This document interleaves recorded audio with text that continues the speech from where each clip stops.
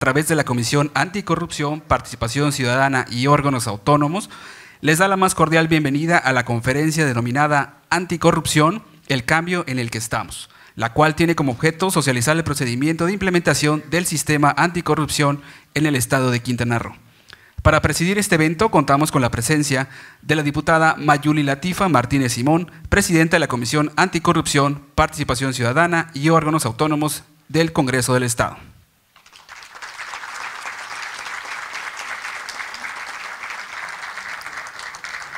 Damos la bienvenida al licenciado Joel Espinosa Moreno, subsecretario de Desarrollo Político de la Secretaría de Gobierno, en representación del contador público Carlos Manuel Joaquín González, gobernador constitucional del Estado de Quintana Roo.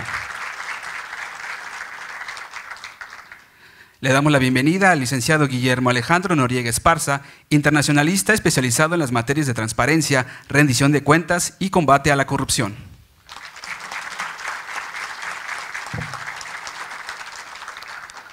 Agradecemos la presencia del diputado Ramón Javier Padilla Balán, presidente de la Diputación Permanente.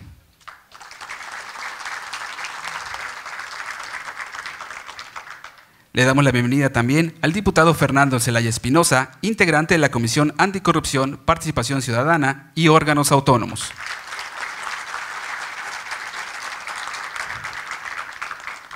También le damos la bienvenida y agradecemos la presencia de Miguel Ángel Pechisen, fiscal general del Estado.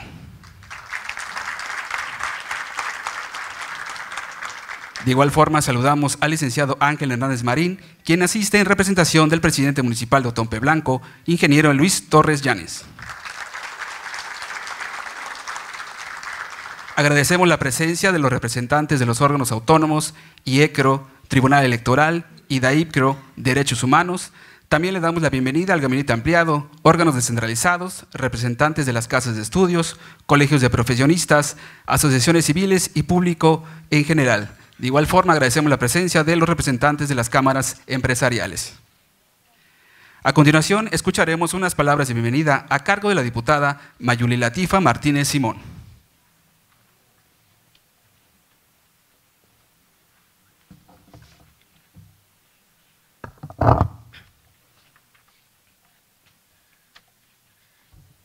Buenos días a todos. Muchísimas gracias por estar el día de hoy aquí a esta conferencia en donde el tema principal es lo que estamos trabajando el día de hoy en la decimoquinta legislatura en la implementación del sistema estatal anticorrupción. Eh, agradezco la presencia del licenciado Joel Espinosa Moreno, quien viene en representación del gobernador. Eh, muchísimas gracias. Joel, por estar con nosotros, a nuestro conferencista también, por supuesto, el licenciado Guillermo Noriega. Muchísimas gracias por, eh, nos vas a platicar y nos vas a eh, dar seguramente un panorama mucho más amplio con respecto al sistema anticorrupción. A los diputados eh, Fernando Zelaya y Ramón Javier Padilla Balán, muchísimas gracias, diputados, por estar el día de hoy aquí. Al maestro Miguel Ángel Pech, fiscal general del Estado, muchísimas gracias. A la maestra Mayra San Román Carrillo Medina, presidenta del Instituto Electoral de Quintana Roo, y a los consejeros que hoy nos acompañan, muchísimas gracias por estar aquí. A la maestra Nora Leticia Cerón González, quien es presidenta del Tribunal Electoral de Quintana Roo.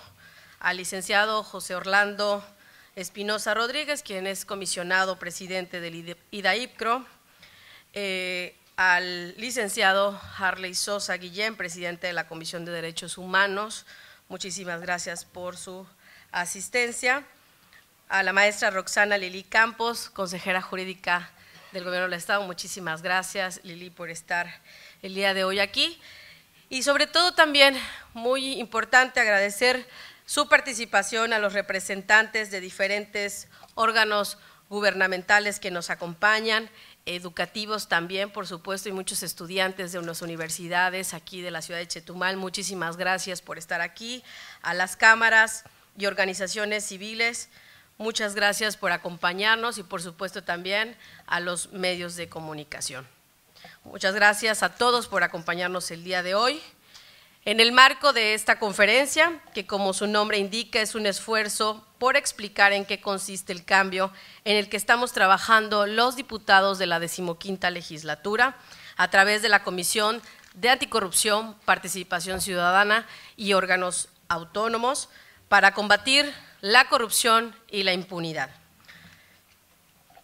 Gracias al equipo con nosotros para explicar cómo se engranan todas las piezas del sistema y cuál es la mejor forma en la que la ciudadanía podrá utilizarlas para combatir eficientemente la corrupción.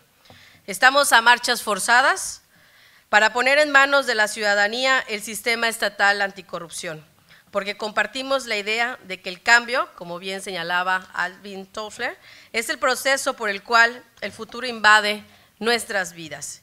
Y es, en ese sentido, tenemos prisa para que las cosas cambien, porque queremos que un futuro mejor llegue pronto a Quintana Roo. Consecuentemente, estoy segura que al final de esta conferencia será más claro para todos y los aquí reunidos que cada uno de nosotros somos los arquitectos de un mejor tiempo, de circunstancias más equitativas, donde la corrupción e impunidad no tiene cabida.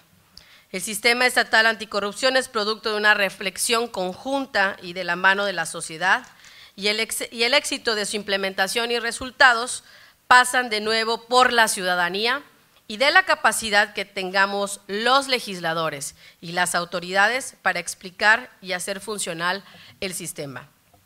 Cuando iniciamos el diseño del paquete de reformas del sistema estatal anticorrupción, realizamos un trabajo de la mano con los especialistas en el estudio del combate a este flagelo social. Posteriormente, nos centramos en enriquecer las propuestas presentadas por distintas bancadas, con la visión del resto de los diputados y de las organizaciones de la sociedad civil que estuvieron dispuestas a concurrir con nosotros en este ejercicio. Y ahora que estamos muy cerca de comenzar con la fase de la implementación de esta reforma, queremos seguir trabajando bajo esta tesitura, bajo el entendido de que la única forma de obtener buenos resultados es que la ciudadanía conozca y haga suyo el sistema estatal anticorrupción. Permítanme repetirlo nuevamente para que esta reforma se convierta en un punto de quiebre a partir del cual le digamos adiós al círculo vicioso de la corrupción e impunidad, a la dicotomía de la complicidad y el amiguismo y la subordinación de las instituciones a los intereses privados. Los ciudadanos debemos cumplir con el papel que tenemos como garantes del combate a la corrupción, de un gobierno abierto y un sistema estatal anticorrupción nutrido por instituciones fuertes e independientes. De ahí la trascendencia de explicar en qué consiste el cambio en el que estamos porque en concordancia con las directrices establecidas en la Constitución Política de los Estados Unidos Mexicanos y las leyes generales que regulan el Sistema Nacional Anticorrupción, nuestro sistema estatal anticorrupción trabajará de manera permanente en el diseño y evaluación de políticas de educación, concientización, prevención, detección y sanción de responsabilidades administrativas y hechos de corrupción. Ahora que desde nuestra Constitución está claro que para enfrentar eficientemente el problema de la corrupción, todos debemos involucrarnos, pues todos los ciudadanos compartimos responsabilidades y tareas que cumplir. Explicar lo que viene en el futuro inmediato es fundamental. Así que nuevamente, muchas gracias a todos ustedes por acompañarnos el día de hoy en esta conferencia Gracias por ser partícipes y jugar del lado de la legalidad y a favor de un futuro mejor. Conocer en qué consiste el sistema estatal anticorrupción es el primer paso para hacer suyas esas nuevas y poderosas herramientas que tendremos para prevenir, perseguir y castigar la corrupción en Quintana Roo. Muchas gracias por acompañarnos y espero que disfruten mucho de esta que sin duda será una conferencia muy productiva para entender en qué consiste el cambio en el que estamos. Muchas gracias.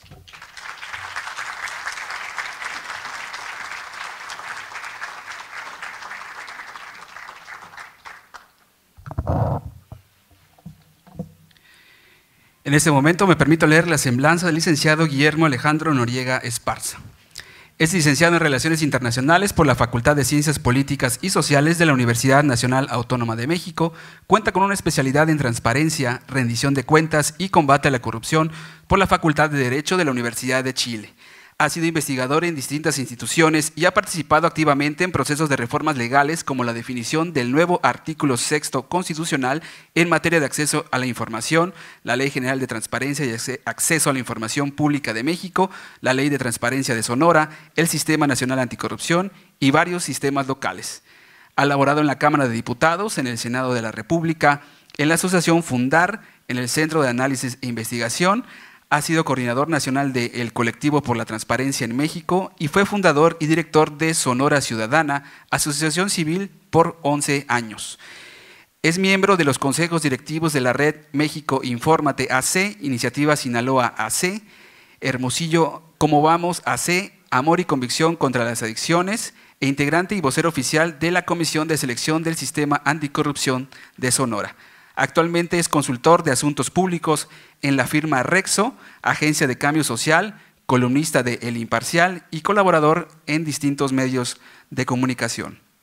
Invitamos a nuestras autoridades a pasar a sus lugares para dar inicio a la conferencia Anticorrupción, el cambio en el que estamos.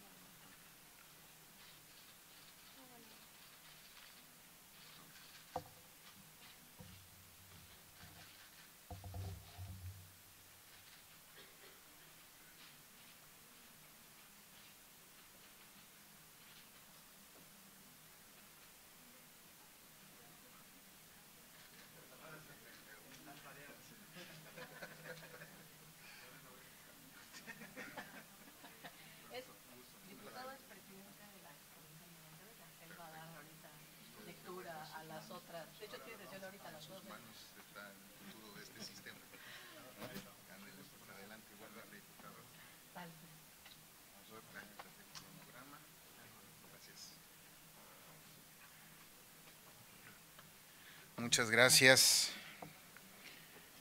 Les decía que es medio complicado meter la panza frente a tanta gente. Muchas gracias al Congreso del Estado de Quintana Roo por la invitación. Em, son momentos bastante interesantes y complejos en nuestro país. Y me interesa empezar diciéndoles que estamos enfermos, tenemos cáncer, y México está en fase terminal. De no pasar eso, de no habernos dado cuenta y de no llegar a la catarsis a la que llegamos en los últimos años, no estaríamos el día de hoy pensando en que tenemos que cambiar estructuras y que tenemos que cambiar incentivos. Estructuras normativas, sociales, etcétera, e incentivos en general. Y obviamente pensar en consecuencias. La corrupción es el segundo, el segundo problema más importante en nuestro país después de la inseguridad, según estudios nacionales. A la gente nos preocupa la inseguridad, después la corrupción. Esto no pasaba hace unos años. No porque no existiera corrupción, tal vez porque no se veía y también porque no era tan compleja como lo que es ahora, como un fenómeno que ha venido a corroerlo todo y me interesa insistir, mi participación el día de hoy busca poner en contexto por qué estamos parados el día de hoy aquí, por qué nuestras instituciones accedieron a reformarse y por qué ahora estamos en ciernes de nuevos mecanismos y nuevas eh, formas de entendimiento. Eh, ¿Alguien de aquí leyó Hamlet de Shakespeare? Si alguien leyó Hamlet, levante la mano por ahí, por favor, no más quiero. Hamlet empieza con una frase, si me pueden por favor poner la siguiente diapositiva. Hamlet empieza con, hay algo que huele podrido en Dinamarca. Hay algo que está podrido en Dinamarca. ¿Qué se refería Shakespeare a la hora de plantear esto? Pues Hamlet es una crítica al sistema político danés Hamlet es en sí una crítica durísima a la monarquía danesa y a la forma en la que se tomaban las decisiones en aquellos tiempos en, Dinamarca. Yo me pregunto, y quiero invitarles a hacer esa pregunta, ¿qué hicieron los daneses a lo largo de los años para venir de ser un país sumamente corrupto y sumergido en un sistema político como tal, a ser el país donde no existe la corrupción a nivel mundial? Es el país número uno en probidad. ¿Qué hicieron los daneses hicieron algo como lo que estamos haciendo en México en estos años. No digo días, años. Cambiaron estructuras normativas, políticas, sociales, no cambiaron de régimen, sigue habiendo monarquía, ¿no? Pero cambiaron de incentivos. Y progresivamente, a lo largo de los años, la sociedad fue modificando su patrón de conducta. Y eso es bien importante dejarlo en claro no fue un asunto de un año para otro. Quien les diga que por su propia naturaleza o porque ya ganó un partido y otro va a acabarse la corrupción, nos está mintiendo. Esto es un proceso que va a llevar mucho tiempo. Quien quiera picarle las costillas a los sistemas anticorrupción para que sean mágicos y cambien todo de un día para otro, está perdiendo la perspectiva e incluso está atacando la medicina y le está haciendo un gran favor a los corruptos. Me interesa dejarlo muy en claro. Queremos ponernos del lado del país y no del lado de los corruptos. Uno terminará decidiendo en dónde se, se para, ¿no? si de aquel lado o de este. Nosotros queremos pararnos y hemos venido trabajando, cuando hablo de nosotros hablo de un grupo de ciudadanos que desde hace 20 años hemos venido presionando fuertemente por cambios. Llegó la ley de transparencia primero y pudimos ver muchas cosas. Y yo les invitaría también a aquellos eh, gran escépticos, y es normal que sean tan escépticos, que nos traslademos 20 años atrás. Hagamos ese ejercicio mental de irnos a 1997 donde estaba apenas el gobierno del Distrito Federal siendo gobernado por un partido distinto al PRI, el PRI todavía ni siquiera perdía los pinos, y no podíamos ni conocer el salario del presidente de la República. 20 años. O sea, yo estaba todavía más joven, ustedes también. Y pareciera mucho tiempo, pero no lo es. ¿no? Estaba en la universidad y batallaba incluso yo para encontrar mi tema de tesis. Yo hice mi, tesis sobre el Plan Puebla-Panamá y nunca encontré el Plan Puebla-Panamá como tal. No lo tenían físicamente disponible y yo no tenía derecho a la información para poder obtener ese documento. Ahora sí lo tenemos. Y entonces no me pueden decir que no ha pasado nada en este país. Por supuesto que ha estado pasando algo, pero los cambios, han sido tan paulatinos y progresivos, tan graduales, que parece que son imperceptibles, pero no lo son. ¿Qué viene a partir de hoy, a 20 años después? La era de las consecuencias. Viene la era en la que sí, ya sabemos que hay corrupción, sí, ya podemos obtener las facturas, sí, ya podemos incluso documentar fraudes. Ahora tiempo de combatir la impunidad, que pase algo, porque desafortunadamente luego no sucede nada podemos ver y la frustración de poder ver y que no suceda nada es peligrosa también. Si le damos a la que sigue, por favor. ¿Cuál era el problema en México? El problema es que el combate a la corrupción se convirtió en una válvula de escape y una simulación, digamos, constante y sostenida a lo largo del tiempo. Si le damos la siguiente, por favor. Y lo que sucedió es que a lo largo de la historia, pues los gobiernos empezaron a crear instituciones anticorrupción o de control, eh, pues en función de los problemas eh, de corrupción y la presión social. Así desde el 82 fue creada lo que es la Secretaría de la Contraloría General del Ejecutivo Federal y luego así fueron creándose una y otra y poco a poco eh, fueron avanzando todo un entramado, pero eran parches que no se hablaban entre sí, instituciones complejas, instituciones que pues, a lo mejor tenían el nombre, pero no, no, eran necesariamente eh, una institución anticorrupción. Me interesa decir una cosa, apenas hasta el 2012, en nuestro marco normativo nacional no existía la palabra corrupción en todo el país. Es decir, la única palabra, el, único lugar era la corrupción de menores, pero fuera de ahí no existía. Y eso te habla de un país que tiene un problema, pero que no lo quiere resolver. Te habla de un país que ni siquiera lo detecta como tal. El elefante en la habitación, la corrupción, no, no existe, ¿no? Le llamamos de otras formas, si quieres, pero no. Corrupción, no vamos a hablar de auditoría, de contraloría, de desarrollo administrativo, pero no hablemos de corrupción Mejor hablemos de otra cosa. A poco a poco se fue creando desde el instituto de, los institutos de transparencia y demás hasta llegar a este 2015-2016 con las reformas en las que estamos el día de hoy. ¿Cuál era la tentación? Y el objetivo era, bueno, más bien, la tentación era continuar o permitir que se cree otra institución más. Querían crear la Comisión Nacional Anticorrupción, recuerdo para mandar el mensaje de que ya hay un SAR anticorrupción y nosotros nos opusimos terminantemente. Dijimos, no, no podemos crear una institución más para vender la expectativa social de que es, ahora sí, esa institución es la que va a cambiarlo todo. Instituciones hay, lo que pasa es que no, se, no funcionan como deberían de funcionar. Y crear una nueva institución lo único que iba a generar eran incentivos perversos para entonces sí echarle la culpa a la nueva institución y no al sistema como tal que no funcionaba. Entonces Mauricio Merino, nuestro amigo, decía, ah, tenemos que hacer el trabajo de fontanería institucional que nadie quiere hacer porque no es tan sexy públicamente.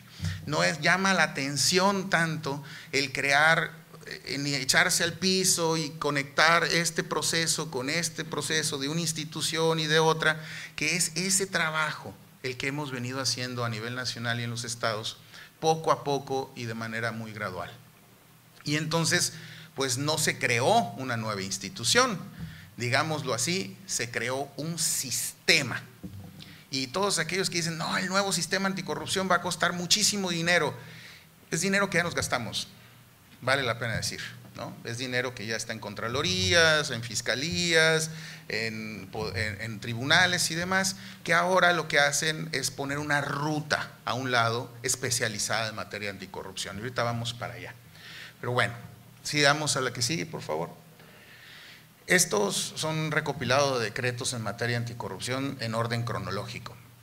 Eso te habla de la fragmentación, eso que les digo que era el problema a vencer había leyes por todos lados, de chile dulce de manteca, sin conexiones entre sí, la que sigue, por favor, y ahí te vas a todos los decretos, o sea, por, por decretos y por ganas no, no, parábamos, pero no funcionaba del todo. ¿Qué sigue, por favor? Bien. ¿Qué sucedió? La que sigue, por favor. ¿Qué sucedió? Bueno, anterior. ¿Qué sucedió hace poco que, bueno, no fue de una noche a la mañana, desde el 2009 estamos trabajando desde en la red por la rendición de cuentas para generar una propuesta. No hubo un escándalo que detonara este cambio. Era más bien, o fue más bien, el que ya no podíamos ocultar que las estructuras estaban podridas. A los presidentes, a los candidatos a presidentes del 2012 se les presentó una propuesta desde la red por la rendición de cuentas y eh, al ganar, el actual presidente nos citó a varios a empezar a redactar tres iniciativas. Una de publicidad oficial para regular la publicidad oficial de los medios, esa se le olvidó con el paso del tiempo. Una de transparencia y una de anticorrupción. En estas otras dos no se olvidaron y eran las agendas que estábamos pidiendo a gritos la sociedad civil para que fueran atendidas. En materia de transparencia logramos un sistema igual, bajo la misma lógica, no queremos nuevas instituciones, queremos que funcionen las que existen. En materia de anticorrupción es necesitamos cirugía mayor. Ante todo esto, dan, como resultado pues dos grandes sistemas y uno tercero que ya venía en ciernes, que es el Sistema Nacional de Fiscalización, que es, digámoslo así, la joya de la corona en todo esto. Pero bueno, eh, ahorita entró en materia de la parte normativa. Regularmente, y eso es importante preguntarlo a ustedes, eh, levante la mano quien cree, por favor, que el ser humano es corrupto por naturaleza. Bueno, levante la mano quien cree que el humano es, eh, bueno, el mexicano es corrupto por, un asunto cultural. La que sigue, por favor. Y levante la mano quien cree que no, que no todos somos corruptos, que la verdad es, es un asunto de unos cuantos. Muy bien. Bueno, curiosamente, curiosamente, hay para todo. Mi posición es el humano ha ido progresivamente, el ser humano, creando reglas civilizatorias que van configurando algo que le llamamos ética pública. Ahorita lo comentaba en la mañana, hace unos años utilizar los vehículos oficiales para fines personales, pues ni siquiera era mal visto, no era visto, ¿no? y la gente pues, se iba de shopping a ellos, de vacaciones sin ningún problema. Y nadie, nadie lo veía mal, ¿no? Hace unos años ni siquiera había rampas para discapacitados eh, y, o mucho menos había quien se quejara. Ahora es un pecado realmente, socialmente hablando, porque nuestros valores de ética pública han ido progresando a lo largo de los años. Pasa igual con la corrupción. No quiere decir que seamos corruptos por naturaleza o por cultura, es que vamos evolucionando y tenemos que ir evolucionando cada vez más. Y entonces adaptarnos a los nuevos valores es sumamente importante. Y ahí viene el tema de los conflictos de interés, ¿no? que eso va a ser el siguiente paso. Vamos a tener que regular además qué entendemos por un conflicto de interés y hasta dónde vamos a castigarlo y hasta dónde no pero son temas que van eh, avanzando. En otros países no puedes ni reunirte con un proveedor en un café como funcionario público porque ya estás incurriendo en una falta. ¿no? Ahorita en México eso todavía no es problema, pero para allá vamos. ¿no? Es decir, despacito, como dice la canción, que llevo prisa, pasito a pasito, porque esto es un tema que vamos a tener, es un tema de construcción muy complejo. El que sigue, por favor. ¿Qué es lo que sucede?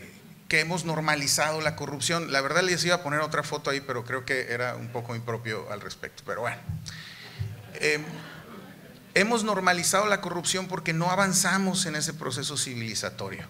Y la gente vota por estas personas. ¿no? ¿Por qué? Porque están ávidas de honestidad. No importa, pues robó, bueno, por lo menos él lo dijo, ¿no? Y por lo menos él acepta ese tipo de cosas. Los otros son hipócritas, dicen que no, dicen que y sí lo hacen. Y hay una serie de, elementos que me interesa em, destacar.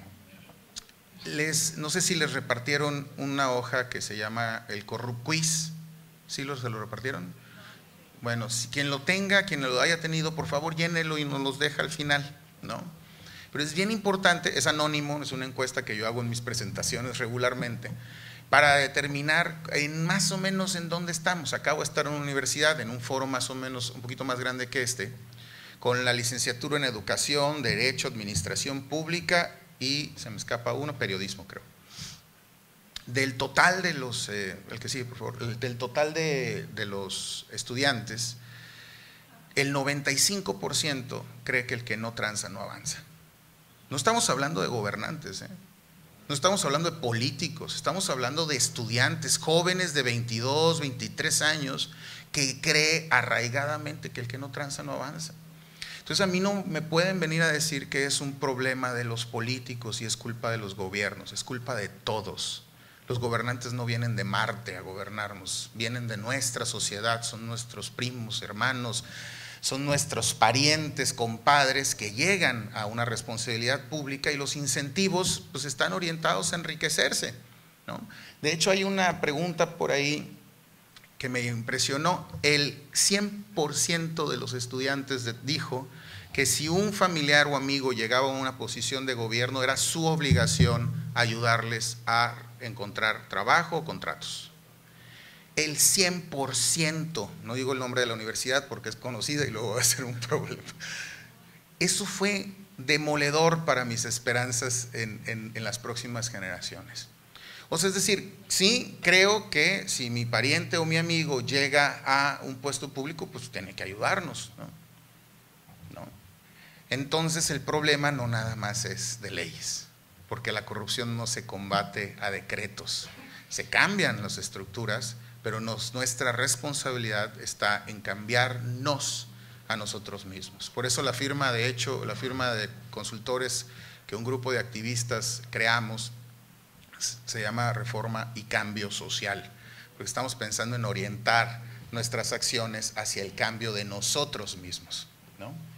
Y bueno, hemos normalizado todo esto. Que, roben pero que hagan, ¿no? O que roben pero que repartan. Y así, ¿no? Hay una, una hay un grupo, hay una, un reactivo que dice que si estás de acuerdo en que al policía habrá que pagarles la multa ahí mejor para que le quede algo a él y pues para qué mejor nos arreglamos aquí en lugar de perder tiempo. Somos una sociedad que no queremos aceptar nuestras responsabilidades. Eso sí, nos quejamos mucho, sí, ¿no? Pero no queremos aceptar que nosotros tenemos responsabilidades. Si cometemos un ilícito o una falta administrativa, tenemos que ser sancionados y no pasa absolutamente nada. Pónganme la multa, voy y lo pago, ¿no? O vaya, llévame el corralón, ni modo. Pero somos muy complejos como para, para, para entender que te podemos y debemos aceptar las responsabilidades de nuestros actos. Y no lo hacemos. Y eso me importa mucho dejarlo en claro hacer una autocrítica. Un político si viene y dice eso aquí, nos lo vamos a comer, ¿no? Y vamos a decir, ah, ya se está lavando las manos este político porque se tendrían que hacer, ellos son los primeros, que primero dejen de robar ellos y luego ya vemos. Se los dice un ciudadano igual que ustedes, pues, ¿no? O sea, a fin de cuentas, tenemos que hacer autocríticos y enseñar a nuestras generaciones a que el dinero no es el centro sensible esto, que el dinero no es el centro de todo y que el éxito en la vida no necesariamente depende de lo económico. Las nuevas generaciones son un asunto preocupante por eso. Lo que sigue, por favor. Lo que sigue. Muy bien, ¿qué es la corrupción? Entonces, de hecho, ni siquiera hay un concepto fundamental, pero podemos hablar del abuso del poder público para beneficio privado. Yo tengo un puesto público, un poder determinado y abuso de él, me extralimito para obtener un beneficio determinado. Hay otras dos, la que sigue, por favor, eh, dos que me gustan mucho, es el abuso de cualquier posición de poder, ¿no? ya no nada más público, público-privada, con el fin de generar un beneficio indebido a costa del bienestar colectivo o individual. O el desvío del criterio, este me gusta más, que debe orientar la conducta de un tomador de decisiones a cambio de una recompensa no prevista en ley. Yo tengo una decisión que tomar, y no la tomo eh, nada más porque es lo debido, sino porque voy a obtener algún beneficio en algún momento determinado. ¿no? Eh, creo que ahí hay muchos este, ejemplos. no sé si han sabido de hay que vender fulanitos terrenos baratos para que después construir una carretera por en medio, subirles el, el valor y después los revendemos. ¿no? Eso es una práctica cotidiana que con el nuevo cambio ya será sancionado. Lo que sigue, por favor. Lo que les comentaba al inicio, este es un estudio bien interesante. En 1996 solamente hubieron 518 notas en materia de corrupción. Notas periodísticas que dieron, eh, en algún lugar dijeron algo de corrupción. En el 2015, 38 mil, casi 39 mil notas. ¿Esto quiere decir que hay más corrupción? Insisto, no. Esto quiere decir que cada vez se ve más y cada vez es más criticado y cada vez es más repudiado por los mexicanos que existan, eh, digamos, que existan conductas que pueden ser o no ilegales y eso es bien importante.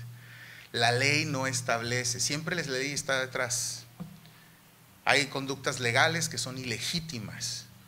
Hay, no todo lo legal es legítimo, no todo lo legal es correcto. Hay conductas legales que pues a todas luces son corruptas, como la que les decía, ah, pues, yo, el manejo de uso, el uso y manejo de información privilegiada hasta el día de hoy, no hay problema.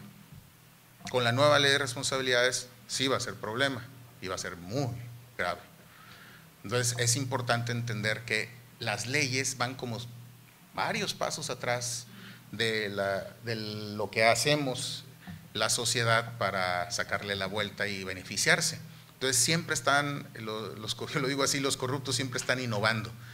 Y la medicina en las legislaciones siempre van atrás, siempre están correteando para tratar de alcanzar. Entonces hay que, ante la sofisticación de la corrupción, pues hay que ser mucho más sofisticados también en la legislación. Lo que sigue, por favor. Y ahí hay uno de los temas más controversiales en el cual no me voy a detener mucho porque quien tenga interés, hay sobrada literatura al respecto, pero es cómo vas a medir algo que no se da en público. O sea, todas las mediciones de materia de corrupción tienen su sesgo. Hay dos tipos de mediciones, las de percepción de la corrupción y las de experiencia de corrupción. Las de percepción de corrupción es, oigan, ¿ustedes creen que hay corrupción? Sí, va a ser altísimo. Bueno, tú has participado de un acto de corrupción, esa es otra medición que te da más certeza de, e incluso hay una cifra negra bastante grande, pero es distinta. ¿no? Por eso hay estados que la percepción de corrupción es enorme, ¿no? pero que a la hora de que le preguntas la experiencia en la materia, te dicen, bueno, es que a mi primo le, le pidieron un moche, a mi socio, pero tú, tú, tú, no, pues yo no. Entonces hay una diferencia entre una medición y otra. Que sigue, por favor. Y eso te da, pues, bueno, un número inconsiderable de, de, indicadores, índices y demás a nivel internacional, la que sigue, y a nivel nacional. México sí somos un país bastante corrupto, eso es importante decirlo, que sigue por favor. Y dentro de pues, México estamos allá arriba, en el lugar ciento, bueno, primer lugar de probidad, Dinamarca hablando de Shakespeare y Hamlet. La que sigue, por favor. La que sigue. A nivel nacional, eh, bueno, esta es eh, una encuesta del INEGI en el 2015, que es la encuesta nacional de corrupción, de, calidad de impacto gubernamental, la ENSIG. Ahí, pues, eh, no estoy. Quintana Roo está por abajo de la media nacional, la Ciudad de México como una de las más corruptas, la ENSIC pregunta sobre experiencias de corrupción, y estamos hablando de 2015. ¿eh? Y ahí me lleva a plantear que el día de ayer el INEGI saca una, encuesta eh, dirigida a empresarios especialmente y Quintana Roo sale pues, liderando la encuesta, pero es un asunto de percepción. Entonces les planteo esto para que, para que entendamos de en dónde. Esta es de experiencias, la de hoy es de percepción y es importante dimensionarlo. No digo que no suceda, lo que digo es que la percepción cambia después de que se sepa y de se sabe pues todo lo que terminaron haciendo en las administraciones pasadas. La que sigue, por favor. Em, bueno, vamos a darle la que sigue. Como les decía, después de la inseguridad y la delincuencia, la corrupción es el segundo problema más importante que los mexicanos vemos. Después el desempleo, la pobreza y demás. Lo que sí es cierto es que en los distintos tipos de corrupción nos, nos pegan eh, por todos lados, en todos lados. ¿A qué me refiero? Hay corrupción de alto calibre, de alto nivel, de cuello blanco y hay corrupción cotidiana. En México tenemos de las dos. Y nos enfocamos más en el día a día a la de alto calibre, a la, de los políticos, la de los terrenos, la de los moches, de moches millonarios. Pero en el día a día, la corrupción que nos afecta a la población, la cotidiana, es enorme. En Estados Unidos y en otros países es muy complicado que tú le des una mordida a un tránsito. Vas a dar a la cárcel inmediatamente. Pero el gobernador de Illinois, hace ocho años, nueve, cuando Obama llegó de presidente, estaba vendiendo el escaño en el Senado. Él tenía la decisión él podía este, incidir en quién iba a ser senador, en sustituyendo a Obama, y le andaba a la venta y salieron grabaciones y salió evidencia de que estaba vendiendo el escaño. Esa es corrupción de alto calibre, de alto nivel. También sucede en todas partes, la corrupción corporativa, la corrupción política.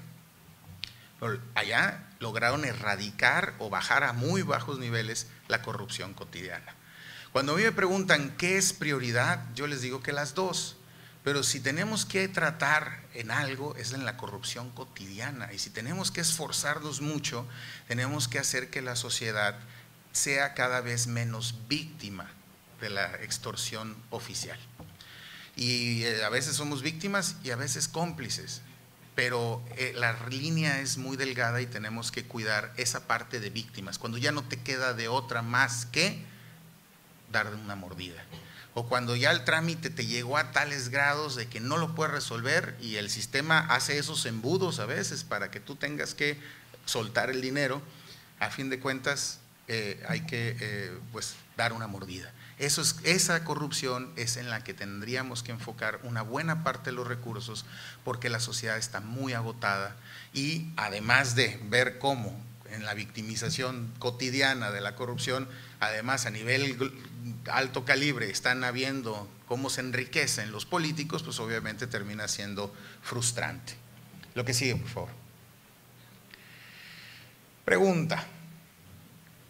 Levánteme la mano, por favor, ¿quién cree que la transparencia es la vacuna contra la corrupción? Una, dos, tres, cuatro, cinco. Bueno, yo lo creí como por diez años, sinceramente. Ya no lo creo. Y les digo esto porque no es nada más la transparencia, es más allá de la transparencia. Como les digo, ya podemos ver pero no necesariamente eso ha inhibido a los gobernantes a tomar las decisiones que han tomado. De hecho, se han vuelto más cínicos para robar, ¿no? Y creen y confunden los conceptos y dicen, pues yo soy muy transparente, está todo en el portal de internet. Oye, pero hay un fraude aquí, pero mira, vendiste, hiciste, te apropiaste. Ah, pero yo soy transparente. No, yo, yo, yo no tiene nada de malo, pero es indebido, es legal y háganle como quieran. Y eso hasta que un juicio determinará si es legal o no es legal. Y ahí van a estar adentro los, los exgobernantes en la cárcel durante mucho tiempo hasta que se determine. A lo mejor van a terminar diciendo, sí, sí era legal, fíjate, Guillermo Padres, yo soy de Sonora, Guillermo Padres es Sonora. ¿Sabes que Usted disculpe, este, si era legal lo que usted hizo, ¿no? Pero ya por lo pronto pasaron muchas cosas, igual Borges y demás.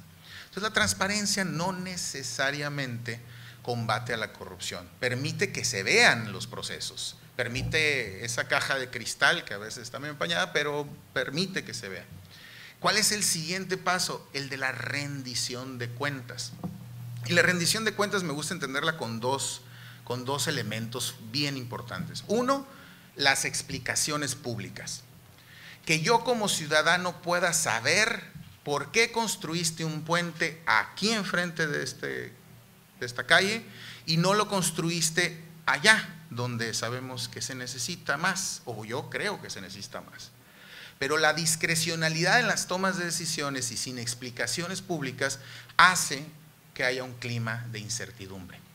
Esa es la rendición de cuentas en un sentido que me gusta entender como la posibilidad de que a mí se me explique, no nada más, con, no, nada más me den un documento y saber cuánto costó el puente, sino por qué de las cosas. Allá en Sonora, bueno, en otros, muchos estados se empezaron a poner de moda crear estadios de béisbol, pero de primer mundo, Sinaloa, Ciudad Obregón, Culiacán, Hermosillo, etcétera, etcétera. Hubo una fiebre que desde la Cámara de Diputados Federal empezaron a otorgar partidas para hacer estadios de, béisbol. Habrá que ver quiénes fueron los constructores y beneficiados pero era absurdo. A mí díganme por qué un estadio de fútbol de primer mundo y una colonia a un lado de cuarto mundo. ¿no? Eso es importante plantear la rendición de cuentas. La otra es de las consecuencias, que a derivado de poder ver las acciones existan consecuencias. La que sigue, por favor. Y ahí viene eh, la parte de la impunidad a la que vamos a hablar ahorita. Hay una gráfica que deja muy en claro eh, que por ejemplo la Ciudad de México, dale la que sigue por favor, a lo mejor es la que sigue, bueno, la que, dale para atrás. La Ciudad de México es la ciudad más corrupta de nuestro país, ¿no? pero es la más transparente. Y Baja California Sur no le entienden todavía, ¿verdad, comisionado? No le entienden todavía mucho a que tienen que ser transparentes, pero casi según los instrumentos que tenemos todavía disponibles, que son imperfectos, pues son los menos corruptos. Y eso es porque son imperfectos los instrumentos de medición y son chilangocéntricos, ¿no? obviamente. Pero a fin de cuentas, eh, eh, el problema es que la transparencia no necesariamente te garantiza la ausencia de corrupción. no es el antídoto único. Digámoslo así, es como el primer paso del tratamiento. Los demás son penas, es castigo, es prevención, es todo lo que estamos haciendo ahora. ¿Y cuál es, el, cuál es la inseparable compañera? Es la impunidad. Esa, esa terrible prima, le digo yo, de la corrupción que no hace que no pase absolutamente nada. Es una repetición de una conducta, hay una probabilidad, esto es terrible. Cuando se comete un delito, hay una probabilidad de que se denuncie del 10%. Es decir, 9 de cada 10 delitos no se denuncian en nuestro país. Eso, digamos, se denuncia uno de cada 10. Y luego, la probabilidad de que se inicie una averiguación previa es el 7%, o sea, prácticamente nula. Y luego la probabilidad de que esa averiguación previa se resuelva es de 2.9, o sea, 3% de probabilidad de que haya una resolución. Y de la probabilidad de que no se resuelva es el 97%. Si lo ponemos en términos muy, muy grandes, de cada 10 delitos solamente uno se resuelve, no, más bien uno se denuncia, y de cada 10 que se denuncian, solamente alrededor de uno llegará a una conclusión. Esto quiere decir que los incentivos están puestos, la mesa está servida para que se hagan lo que quieran. Y a fin de cuentas nuestro sistema de procuración no tenía las herramientas y no tenía cómo entrarle y también los incentivos políticos no querían. ¿no? Hay que permitir, nos vamos contra otros, no contra los corruptos. Y era pues, básicamente pues una una fiesta este, eh, de impunidad. El que sigue, por favor. Esta gráfica, tomado del libro de María Amparo Casar de la anatomía de la corrupción, es fuertísima y te deja claro lo que es la impunidad en México. En México, de 42 gobernadores que han sido acusados de corrupción, han sido investigados 17. O sea, ya dejaron muchísimos fuera de los acusados a los investigados y solamente cinco detenidos. Esto es cifra al 2015. En Estados Unidos, de nueve acusados, nueve fueron investigados y nueve fueron detenidos. Ouch. La que sigue, por favor, esta va a ser más, más complicada. ¿no? De los delitos perseguidos, general, Singapur, de 175 fueron condenados 134. Hong Kong, de 202 condenados, perseguidos, fueron condenados 172. Estados Unidos, de 688 delitos perseguidos, fueron condenados 614. En México, de 1946 delitos perseguidos, fueron condenados 48. Somos el país del no pasa nada. El 2%. Somos el país del no pasa nada. Y luego nos preguntamos por qué hay la inseguridad que hay, ¿por qué pasan las cosas que pasan? Pues si los incentivos están puestos para eso, ¿por qué abusan del poder público? Pues con mayor razón. Si somos los dueños del bat, del de béisbol, de las pelotas, de los guantes y de las gorras, pues obviamente también del árbitro. ¿Qué hicimos? Pues tratar de cambiar esa realidad. ¿no? Lo que sigue, por favor. Bueno, esta es, todavía más compleja, pero es por el estilo. Lo que sigue es de la Auditoría Superior de la Federación. Y aquí, pues es, es obvio, ¿no? la Universidad de las Américas en Puebla creó el índice global de la impunidad. Este, no voy a decir más, México es el segundo lugar. Ahí nos lo peleamos con Filipinas por cinco puntos. Eh, entonces, eh, si seguíamos como seguíamos, seguramente lo íbamos a desbancar. Y a lo mejor en el Mundial y en la Confederación no nos vaya bien, pero en esto sí somos muy campeones. Que sigue, por favor. Insisto, este cambio en el que estamos no es un cambio de un día para otro, no es algo que vaya a cambiarse ya. Y yo los invito, no nada más a que se sumen al cambio y se pongan de este lado, sino que defiendan el sistema que estamos construyendo. No es perfecto, no es perfecto. Hay muchas críticas, hay muchas críticas. ¿Va a tener tropiezos en su implementación como los está teniendo? Sí pero es lo único que tenemos al día de hoy. Es, el único tratamiento contra este cáncer. Es como si tuviésemos un cáncer terminal en lo personal, dos guarde la hora, pero dijéramos, no, es que no quiero, no quiero ir a la quimioterapia porque, porque no, tiene muchos en contras. Bueno, pues, o sea, sabes que le vas a intentar por otro lado, si va a ser difícil, pues sí, sí va a ser difícil, ¿no? Pero a fin de cuentas es, es imperfecto el tratamiento, pero es lo que tenemos ahorita. Y algo que es bien importante, nosotros lo exigimos. Fuimos ciudadanos, investigadores, académicos, abogados, quienes redactamos quienes peleamos artículo por artículo de todo esto. Gente como ustedes, como nosotros, que le dedicamos muchísimas horas a esto. Y que, pues obviamente, de cada 10 cosas, nosotros sabíamos que a la hora de ir a la batalla íbamos a ganar dos, tres cosas de cada 10. Ganamos mucho más.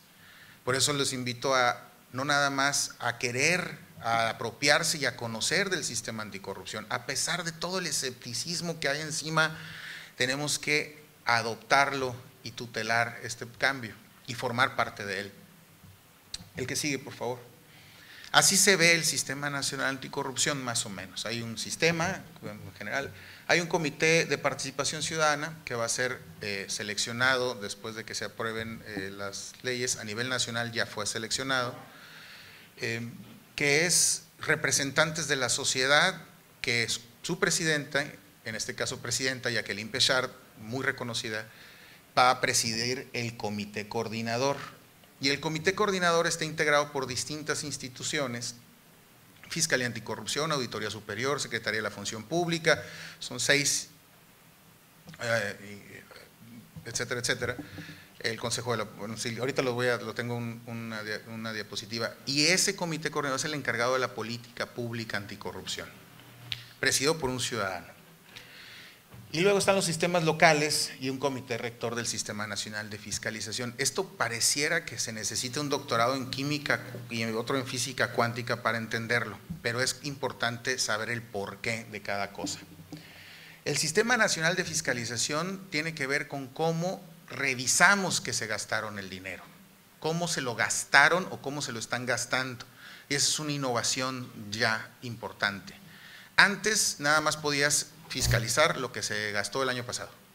Y ya.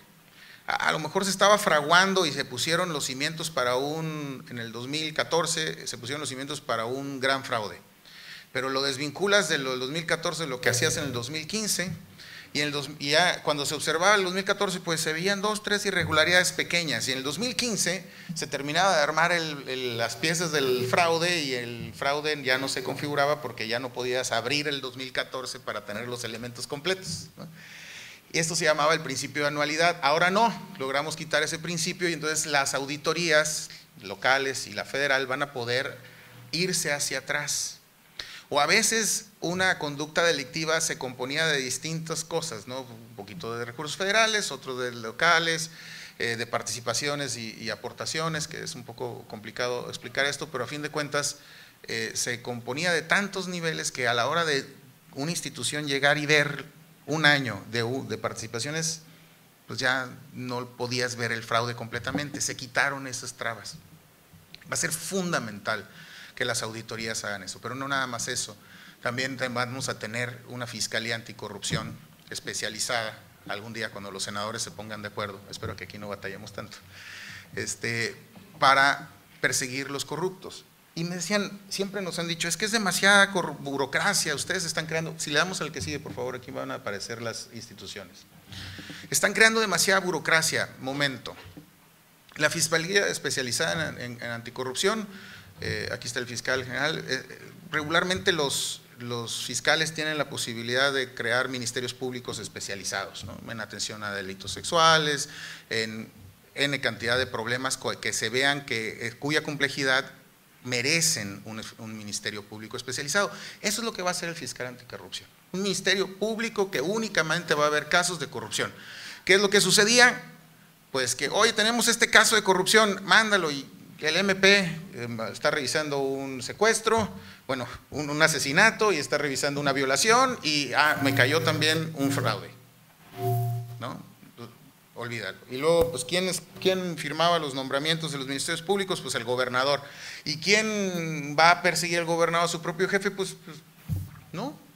Ahora, ¿cómo se da esto? Bueno, las fiscalías a partir de eh, ya tendrán autonomía. Y dirán, ah, pero los puso, los actuales los pusieron los gobernadores. Sí, pero ahorita, espérense tantito. En unos años esto se va a mover, se va a refrescar y vamos a poder tener fiscales fuertemente autónomos que, que estén lo más alejados posibles del, del gobierno. Pero bueno, tendremos ministerios públicos especializados en esto. Nosotros pedíamos un tribunal de cuentas aparte, nos dieron una sala especializada, está muy bien, ¿no? Lo que no queríamos es que pasara lo mismo que con el Ministerio Público, que era el investigador, el que acusara, que estuviera viendo temas de una violación y al mismo tiempo un, tema de auditoría forense, digámoslo así. No necesitamos especialistas en este tema y pues no nada más quien persiga corruptos, sino además quien vigile, como la Auditoría Superior de la Federación, cómo se lo gastaron, y no nada más eso, sino también quien haga control interno, porque no todo es, eh, no todo es te meto a la cárcel, es vamos desarrollando administrativamente lo mejor que se pueda para evitar que sigan sucediendo los problemas y un tribunal de cuentas y, un, y, están además representados el órgano garante de acceso a la información y el Poder Judicial. En general, el comité coordinador, estas instituciones a nivel nacional se replicarán a nivel estatal y permitirán que las instituciones encargadas de esto se sienten a platicar y se sienten a desarrollar políticas públicas, con presupuestos, con coherencia en combate a la corrupción y lo, algo bien importante, la prevención. La que sigue, por favor. No me voy a detener en eso porque la verdad se, está muy complicado, pero es más o menos lo que les acabo de plantear ahorita. La que sigue, por favor. Hay un elemento adicional bien importante que me interesa eh, exponer aquí, que es la plataforma digital nacional. Por ahí nos decían, es que les echaron a perder la ley 3 de 3. Es que mientras no sea completamente público no sirve. Y no es así. Ahorita, para que un fiscal anticorrupción pueda, por ejemplo, ver las cuentas de un gobernador o de un acusado de actos de corrupción, para que un gobernador, para que un fiscal lo pueda hacer, tendría que pedirle a la Comisión Nacional Bancaria de Valores, pues la solicitud de que le mande los estados de cuenta. Y eso tarda, ¿qué será fiscal? Unos tres meses, cuatro, si quieren, ¿no? Si hay voluntad política. Es decir, yo, fiscal del Estado, especial, incluso anticorrupción y todo lo que tú quieras, Comisión Nacional Bancaria, dame los estados de cuenta de fulanito. Allá, tres, cuatro, cinco meses para que te respondan. Y a veces nunca. Ahora no, ahora a través de la plataforma digital nacional va a poder entrar y poderlo verificar inmediatamente. Esa es una gran base de datos, pues, es lo que quiero decirles. Y eso va a permitir que las autoridades puedan verificar en tiempo incluso real qué está pasando con las cuentas de, ¿no? Uno, diputado y demás, y, digamos, le permite agilidad. Pero además ahí adentro van a estar también las declaraciones patrimoniales, las de intereses y las fiscales, y estarán un sistema de denuncias públicas eh, que, es, eh, que es importante tenerlo, además de una serie de innovaciones como el sistema de contrataciones, que uno pueda, podrá ver. Va a ser una plataforma bastante fuerte que espero este, no, suceda lo que con la de transparencia, que fue un poco complejo y ha ido arrancando con muchos tropiezos, pero que a fin de cuentas va caminando. ¿no? O sea, es importante decirlo, no nos desesperemos. ¿Qué sigue, por favor? ¿Qué son las innovaciones? Y eso me, interesa dejarlo. El 3 de 3, como les decía, se tendrá que presentar y los funcionarios van a determinar de manera voluntaria si lo hacen público o no lo hacen público. Oye, que qué mala onda que no sea eh, obligatorio, pues sí, pero ganamos que por lo menos lo presenten. ¿Qué hemos hecho hasta ahora? Pues presión pública y nos ha funcionado con una presión pública de una campaña con tres organizaciones a nivel nacional y muchos ciudadanos que nos sumamos, logramos que ya estén las declaraciones ahí públicas, ya podemos ver que tienen, ¿no? Con presión pública. ¿Por qué no podemos seguirlo haciendo? No, nada más porque lo hayamos perdido en la ley eh, y además la Suprema Corte de Justicia de este país se haya estrenado con una sentencia terrible, pues no quiere decir que tengamos que claudicar en esto. Se resuelve también, en su momento lo vamos a lograr. Otra cosa, las denuncias anónimas. Eso era una discusión terrible. Imagínense los legisladores diciéndonos, o sea, a mí me van a denunciar todos los días porque mis adversarios políticos se van a ir en mi contra. ¿Por qué? No, y eran una oposición terrible. ¿Y qué les decíamos? Bueno, pues es que te podemos denunciar por narcotráfico también. O sea, hay, la figura para poderte denunciar de narcomenudeo, que tu casa es un tiradero. ¿Cómo por qué yo voy a poder denunciar a alguien o a mí me pueden denunciar como ciudadano de tener un tiradero en mi casa de droga y no pueda yo denunciar a mi vecino que tiene seis meses en la administración pública y ya trae un camionetón y dos ranchos y llega en helicóptero, ¿no? Como por qué no se puede, ¿no? Y entonces logramos las, las denuncias públicas. Se los juro, yo jamás pensé que esto iba a ser posible, lo de las denuncias anónimas. Las investigaciones de oficio igual, ¿no? Y además, lo que les decía, la conexión con la comisión, el registro de faltas administrativas y hechos de corrupción. Va a haber como un buró de inhabilitados. Y esto era bien importante porque si yo era un funcionario municipal y me robé el dinero y se me descubrió después de años y años y años de juicios y pleitos, pues ¿qué me hacían? Me inhabilitaban. Y yo que pues ya me voy al federal y me iba a trabajar al gobierno federal. Eso, pasa mucho, pasa todavía. Y ahí está el, funcionario público corrupto, inhabilitado aquí en el... Ah, pero está en el federal, no pasa nada, ¿no? Y lo inhabilitaron por cinco años, se avienta un sexenio, ya regresa otra vez. Y eso es, imposible. Ahora no, ahora habrá un registro. O además, o, se cambiaban de estado, ¿no? O sea, estaba en Sinaloa, ya me inhabilitaron por corrupto en Sinaloa, o a Sonora, y así se la llevaban de manera muy campechana. Ahora ya no va a ser posible porque no podrán ser contratados. Antes era un atenuante ser servidor público, todavía la idea es que sea un agravante ser servidor público, ¿no? Y e, en eso todavía creo que falta. Y algo bien importante, la corrupción no es de uno, es de dos o tres, y ya más de tres es crimen organizado, ¿no? Fiscal.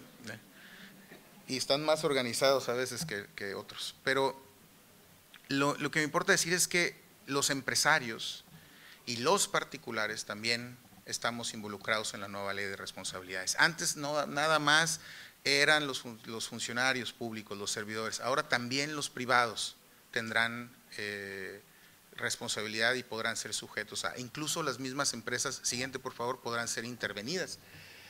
Por ejemplo, los candidatos, miembros o equipos de campaña o transición, líderes sindicales, etcétera, etcétera, son, se les consideran particulares en situación especial y pues por ejemplo cuando soliciten, exijan, acepten o reciban un beneficio a cambio de otorgar una ventaja durante su futuro cargo. Eso estará penado. O sea, yo soy candidato y te digo, ándale, vota por mí, te voy a dar un contrato. Falta, vas para adentro. Oye, vota por mí, te voy a dar, te voy a dar este, una, eh, un chamba, te voy a contratar y te voy a dar, eso va a ser una irregularidad a partir de y ahí un, yo los invito a leer la Ley General de Responsabilidades, la verdad la tienen que leer. Es impresionante todas las cosas que van a empezar a cambiar a partir de ahora. No digo que inmediatamente se empiecen a acabar las cosas, insisto, pero ya empieza la ley a, limitar nuestro marco de actuación. ¿Está haciendo calor o soy yo porque estoy hablando? No, ojalá se nos pudieran prender el aire. El, ahora otra cosa, bueno, vamos a darle el que sigue, por favor. ¿Qué hay para los servidores públicos? Pues suspensión, destitución, sanción económica, inhabilitación y cárcel, dependiendo de la falta que hayan cometido. Y para particulares, pues suspensión de actividades, disolución de una empresa o la intervención de esta misma, ¿no? Y también en su momento cárcel o inhabilitación. Una empresa, por ejemplo, que esté, que haya sido pues demostrado que incurrió en una falta, este podrá decir jamás podrá ser proveedora del gobierno y eso está eh, ahí. ¿no? Adelante, por favor. Esto es un tanto eh, complejo, pero las empresas van a tener que empezar a profesionalizarse como empresas. Y esto busca que evitar que se creen y se formen sociedades con el único propósito de convertirlas en proveedoras de gobierno y sustraer u ordeñar partidas como tal. ¿no? La que sigue, por favor. Y bueno, aquí viene una cosa muy interesante, pero yo les quiero plantear, ahora ya va a ser eh, delito como tráfico de influencias, algo que le llama el intercambio de favores, por ejemplo, la tráfico de influencias. Si yo le pido, que yo soy secretario de Agricultura y le pido para no contratar a mi hijo al secretario de Ganadería que él lo contrate y yo le contrato a su hijo y entonces nos campechaneamos, eso ya va a ser una falta. Eso pasa bien seguido. ¿eh? oye, yo no lo puedo contratar a, la empresa de, mi compadre o a mi propia empresa, pero contrátamela tú de proveedora y yo te contrato la tuya. Eso pasa muy seguido y eso ya va a ser un delito. Pero el tráfico de influencias va a ser de ahora en adelante un problema muy complejo porque no lo vemos, no estamos acostumbrados a eso. Igual que los moches, igual que los porcentajes y demás, van a empezar a ser un problema bastante fuerte igual que el enriquecimiento eh, inexplicable y otras conductas penales que ya van, que ya implican incluso cárcel, ya meritan cárcel. Nota al pie de página, casi todos, y de acuerdo al nuevo sistema de justicia penal, los delitos son no graves. Lo siento, no, logramos más. Pero la gran mayoría de los delitos no van a meritar prisión. ¿no? Para que cuando vean que detuvieron a alguien, llegó y entraron y salió bajo fianza, es normal y así está en la ley y así va a pasar durante un tiempo hasta que logremos una nueva generación de reformas. ¿Qué significa esto? ¿Que van a poder pagar su libertad? No, van a llevar el proceso no en cárcel, van a llevarlo en libertad. Si es declarado culpable, va para adentro, ¿no? Es un nada más mientras dure el juicio. Desafortunadamente. Pero eso no quiere decir que no sirva. No sé si me explico. No quisiera que nos confundamos y digamos, no, ya ven, no sirve el sistema anticorrupción porque todos deberían de estar en la cárcel. ciertamente, la sociedad quiere sangre, queremos venganza, queremos ver gente pues entambada, pues, ¿no? Pero no necesariamente es la solución. Se los digo muy claramente, es parte de la solución y desafortunadamente no lo logramos como tal. ¿no? En la siguiente generación de reformas, que además esto no se acaba aquí, ni crean que nos vamos a ir a la casa a dormir, este, vienen otro tipo de innovaciones como la protección a denunciantes, nosotros llamamos whistleblowers, ¿no? que es un sistema en el que tú puedes denunciar a tu jefe, si tú eres jefe de departamento y ves que el director está cometiendo un acto ilícito, tú puedes denunciarlo y él no te va a poder correr, no te va a poder tocar, no te es un sistema de protección que ha sido muy exitoso en otros países y que aquí no logramos todavía implementar. Pero bueno, que sigue, por favor. Todos esos son los nuevos tipos, abuso de autoridad, uso ilícito de atribuciones y facultades, ejercicio ilícito de atribuciones, lo que sigue, por favor. Tráfico de influencias, cohecho, peculado, enriquecimiento ilícito, lo que sigue. vamos a ver.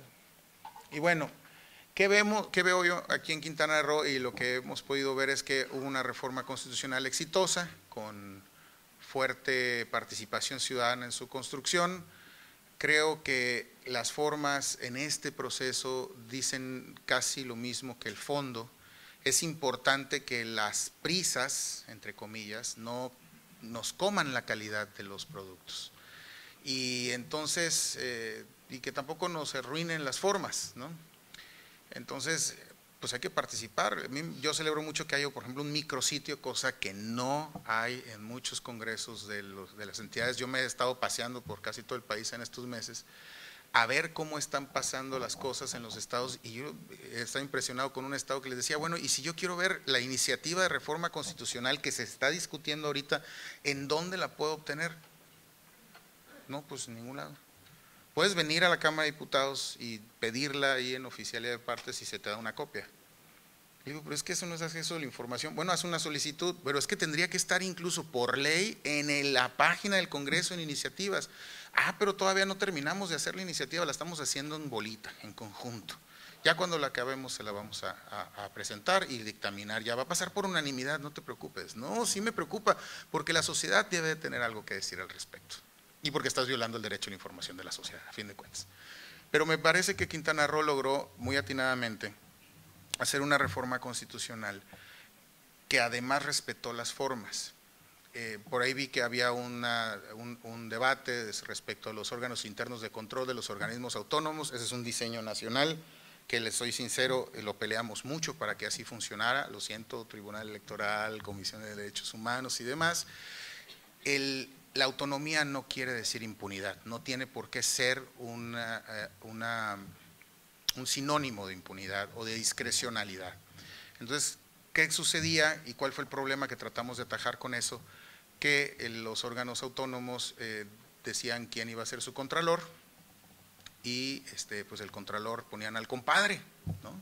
al amigo o al cómplice y lo capturaban y ya olvídate que alguna vez te diera un, dolor de cabeza, ya no puede ser esto así, sobre todo con las nuevas atribuciones que tienen los órganos internos de control. Entonces, la única manera que encontramos es que los congresos sean quienes eh, se nombren a los contralores, a los órganos internos de control que hay un tema ahí en el materia electoral que sucedió en otro estado, no sé si estoy de acuerdo, sí, eh, fue muy extraño, pero eso simbra el diseño nacional incluso. ¿eh? Va a haber mucho que decir al respecto porque todavía no está la última palabra dada.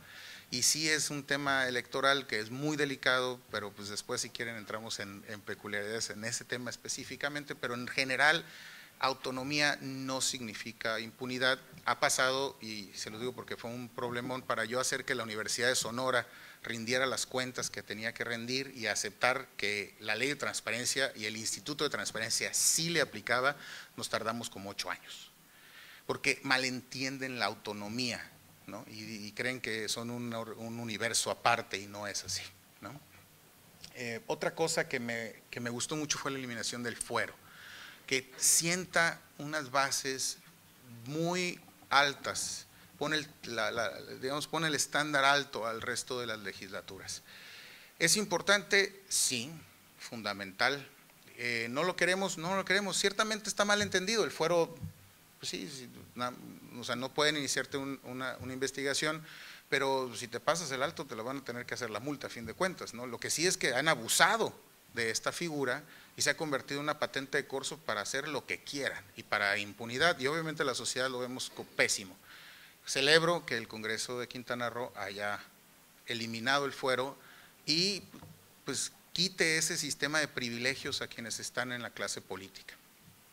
También eh, lo del juicio político por faltas administrativas, quedó lo del juicio, este, diputada, lo del juicio político por faltas administrativas, ¿sí quedó?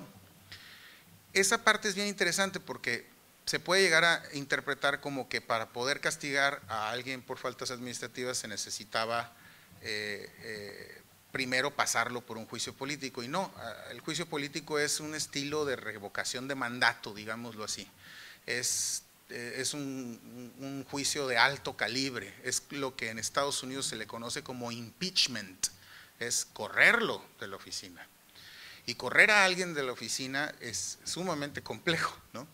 Y antes, si tenías faltas administrativas graves y no tenías la manera, no te, tenías que esperar a que se fuera el gobernador o el quien fuera, eh, el funcionario, para poder iniciar procedimientos. Ahora no, y eso es muy importante. Y bueno, eh, eso lo veo como muy positivo. Eh, lo que sigue, por favor. Y la otra parte es el tiempo. Yo les diría, ya para concluir, que me, interesa mucho decirles hay que tener paciencia. Yo sé, y por todos lados en los que me, he estado, digamos, eh, interactuando con la sociedad, yo sé que hay una incertidumbre enorme, hay un escepticismo desbordado. No creemos ni en nosotros mismos, no confiamos en nuestros vecinos. Así somos los mexicanos.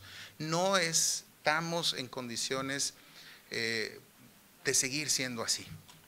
Tenemos que tener paciencia y tenemos que estar muy vigilantes a que las cosas vayan funcionando poco a poco. No quiere decir con esto que, que tengamos que solapar irregularidades. Lo que quiere decir es que va a haber problemas de implementación, ciertamente en todos lados los va a haber. Que va a haber tiempo, que va a tardar mucho tiempo y que quienes ahorita están en la preparatoria van a tener forzosamente que llegar a 40, 50 años para que digan, ah, mira, eh, las cosas cambiaron, sí, probablemente. Es decir, nuestros, mi, mi hijo y los hijos de mi hijo van a ser los que van a disfrutar lo que estamos sembrando el día de hoy, en estos días, en estos años. Entonces, eso sí me interesa decirles no nos, no nos desesperemos y tampoco caigamos en el juego de los corruptos que se los aseguro porque ya empezaron, van a querer desprestigiar este sistema, van a querer desprestigiar a las instituciones derivadas de este sistema, van a querer decir y sembrar en nosotros el nada, no sirve de nada, es pura parafernalia, es pura burocracia. Yo les quiero pedir, esa, no, no voto confianza, léanla. Lean la ley general, por ejemplo, la ley 3 de 3, la ley general de responsabilidades. Échenle un ojo, véanlo. Y hacer valer la ley con la mano, eh, con la ley en la mano es importante. ¿Qué siguen? Como les digo, estos órganos, una vez que el Congreso de Quintana Roo apruebe las leyes secundarias, que tengo entendido, ahí sí tienen la obligación, tiene que ser antes del 18 de julio, cuando apruebe se tendrá que iniciar una convocatoria para integrar una comisión de selección. Yo mismo soy miembro y vocero de la Comisión de Selección de Sonora. Esta comisión de selección tendrá que hacer una metodología e integrar y buscar los mejores perfiles en la sociedad para crear y nombrar a un comité de participación ciudadana. Estas cinco personas del Comité de Participación Ciudadana van a ser nuestros representantes en todo este sistema complejo que a partir de hoy espero no lo vean tan complejo y que entendamos más o menos sus alcances.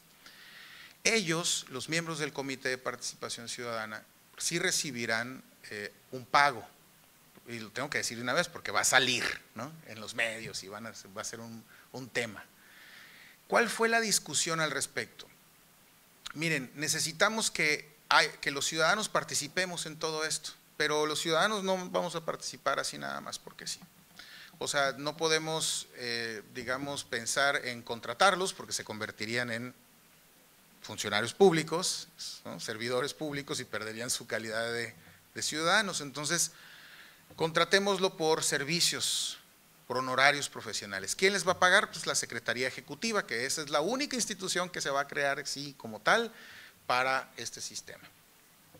Y entonces esos cinco van a obtener una contraprestación.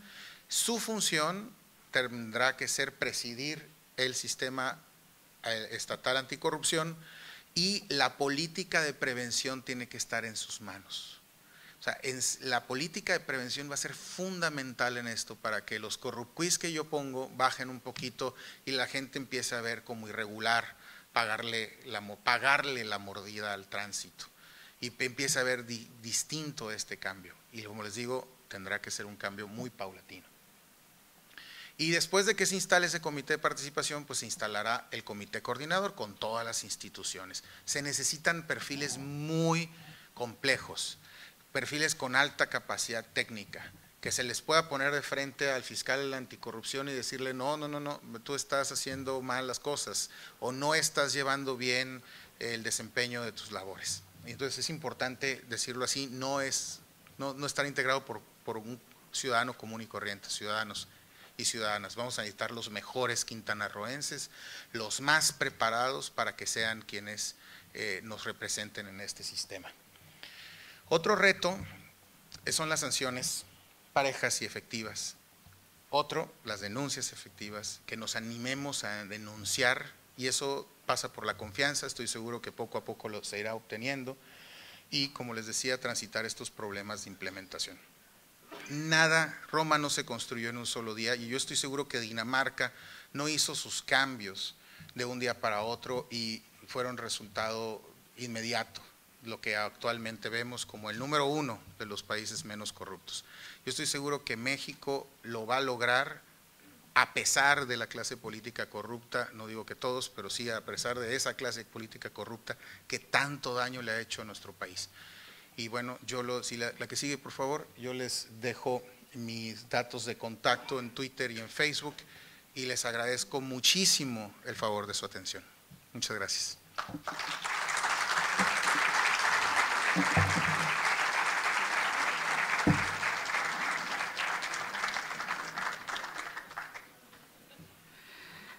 Ahora procederemos a la sesión de preguntas y respuestas. Eh, si son tan amables de ponerse de pie, a los que deseen participar, para que nuestro personal de apoyo les proporcionen un micrófono. Empezamos de este lado.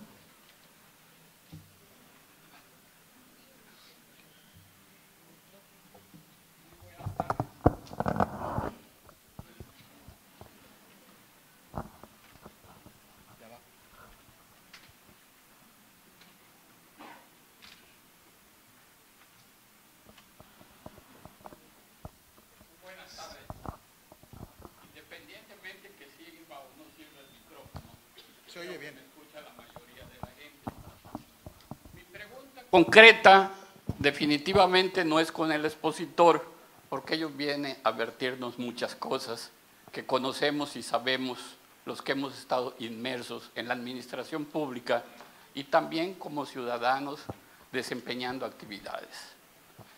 La situación que yo pongo en pie y se lo pongo al Congreso del Estado es simple y sencillamente que comiencen a calificar realmente a las personas que lleguen de la sociedad civil. Yo represento a la organización de la Asociación de Profesionistas en el estado de Quintana Roo y por eso tomo el micrófono, porque hemos vertido en diferentes posiciones la situación de la Asociación de Profesionistas. Y nosotros no nos hemos autorrecomendado, hemos recomendado a los profesionistas realmente que conforman esta asociación y creemos que son de los mejores en competir en los órganos autónomos que nombra el Congreso. Sin embargo, nos hemos llevado algunas sorpresas que caen en gente y en nominación que realmente ni representa a la sociedad civil y mucho menos a las organizaciones como la que represento. Por ese motivo y por muchos más, y estaría yo hablando toda la tarde, prefiero cortar esta situación en que en los nuevos organismos creados, porque realmente no han funcionado los anteriores, se tome en cuenta a la sociedad civil y a los que conoce realmente el quehacer del Estado de Quintana Roo. Por eso fijo mi posición, te agradezco tus conocimientos. Nos has despertado una serie de situaciones sin embargo, en la ley que presenta el Congreso, mucha similitud con tus gráficas y mucha, mucha similitud en tus conceptos. Qué bueno que los estés asesorando, qué bueno que estén escuchando y qué bueno que lleven hasta las últimas consecuencias, pero que la sociedad civil realmente represente a Quintana Roo, que no sea la gente que no conoce y no sabe de los temas que debe de realmente saberse. Muchas gracias. Muy bien, muchas gracias. ¿Su nombre, perdón? Perdón, su nombre. Emiliano. Oliva, a la milla, tus órdenes. Gracias, Emiliano. Mire, esa es una constante que creo que es importante plantear. Todos estamos de acuerdo, bueno, no es cierto, no todos estamos de acuerdo en los fondos legales y en lo que tiene que estar puesto en la ley. Es un debate enorme. Pero cuando llegamos a la parte de los nombramientos, se descompone prácticamente todo. Yo celebro mucho que todavía no entren en ese tema aquí en Quintana Roo y que lo pongan en pausa para después. Vámonos a lo sustantivo, ¿no? No al reparto de cuotas y cuates y todo lo que termina sucediendo, porque termina empantanando lo, verdaderamente importante. Eh, ha sucedido de todo a nivel nacional con los nombramientos. Es un tema real fuerte, ¿no? Y sí es cierto, las personas importan, pero importan mucho más las atribuciones que les pongamos ahí y la posibilidad de que no se hagan hacia un lado. La discrecionalidad es la madre de toda la corrupción en este país. Entonces, si yo soy nuevo fiscal anticorrupción de Quintana Roo, por ejemplo, y mis atribuciones legales me permiten no hacer mi trabajo sin que algo pase, entonces hay un problema. ¿Y dónde está el problema y dónde se va a distorsionar todo? Pues porque en la ley no me pusieron las consecuencias para que yo no haga mi trabajo. Entonces lo importante es la ley, es irnos a esas atribuciones y a las consecuencias de que, de que haya lo menos discrecionalidad posible. Después viene la parte de los procesos, de quiénes van a ser. Las personas importan, por supuesto que importan. Y claro que tiene que buscarse los mejores perfiles y los más libres de las ataduras partidistas. Esto no puede ser una repartición de entre partidos políticos y además entre grupos de interés, que es importante decir que hace poco el senador Pablo Escudero criticó a los miembros de la comisión de selección que porque tenían conflicto de interés, porque querían poner a los suyos de la red por la rendición de cuentas, que es de donde, desde donde trabajamos todo esto. Y entonces, o sea, es decir, ah, caray, la clase política tradicionalmente corrupta nos está acusando a nosotros de nosotros tener conflicto de intereses. Ah, ¿cómo? ¿No? ¿Y quiénes, quiénes son Sergio López Ayón, el director del CIDE, Pedro, eh, Pedro el director del Instituto de Investigaciones Jurídicas de la UNAM. O sea, puro cuarto bat. Ah, pero aún así se le puede cuestionar y se le puede acusar. Yo diría, vamos teniendo mucho cuidado en los pasos que demos. La ley y el debate de lo que tiene que contener es fundamental. Las personas importan, por supuesto, pero esto no, yo, quisiera decir, a mí no me importa si nos gobierna un diablo o un santo yo lo que quiero es que independientemente que sean santos o sean diablos, tengan las manos atadas y se rijan bajo un esquema de ley como para que el diablo no pueda ser diablo, y para que el santo pues no se vuelva después diablo por los incentivos, ¿no? Pero bueno, muchas gracias por su pregunta. ¿Alguien, ¿alguien más? Buenos días. Mi nombre es Raúl Cázares, vengo representando al Observatorio Legislativo de Quintana Roo y también a la Cámara de Comercio de aquí del Chetumal. Eh, en estos días, eh, no sé si vieron, el Instituto Mexicano de la Competitividad este, presentó su informe de los congresos, en donde el Congreso de Quintana Roo era el séptimo más caro de todo el país. Y también hablaba y cuestionaba el tema de que los grandes problemas y los grandes actos de corrupción de los gobernadores en estos últimos años habían sido validados por los congresos locales, este, los paquetes de impunidad y todas esas cosas que nosotros ya sabemos. La pregunta concreta es, ¿el Sistema Nacional Anticorrupción trastoca los beneficios y la impunidad que todavía hay en, el interior de los congresos locales? Es decir, ¿alcanza para también la corrupción se acabe al interior de los congresos. Te lo digo porque en el propio Congreso del Estado, eh, es cierto, ha habido mucha voluntad, ha habido muchas reformas desde que entró esta legislatura, sin embargo todavía no se llega a concretar que el mismo Congreso sea transparente y deje de ser corrupto.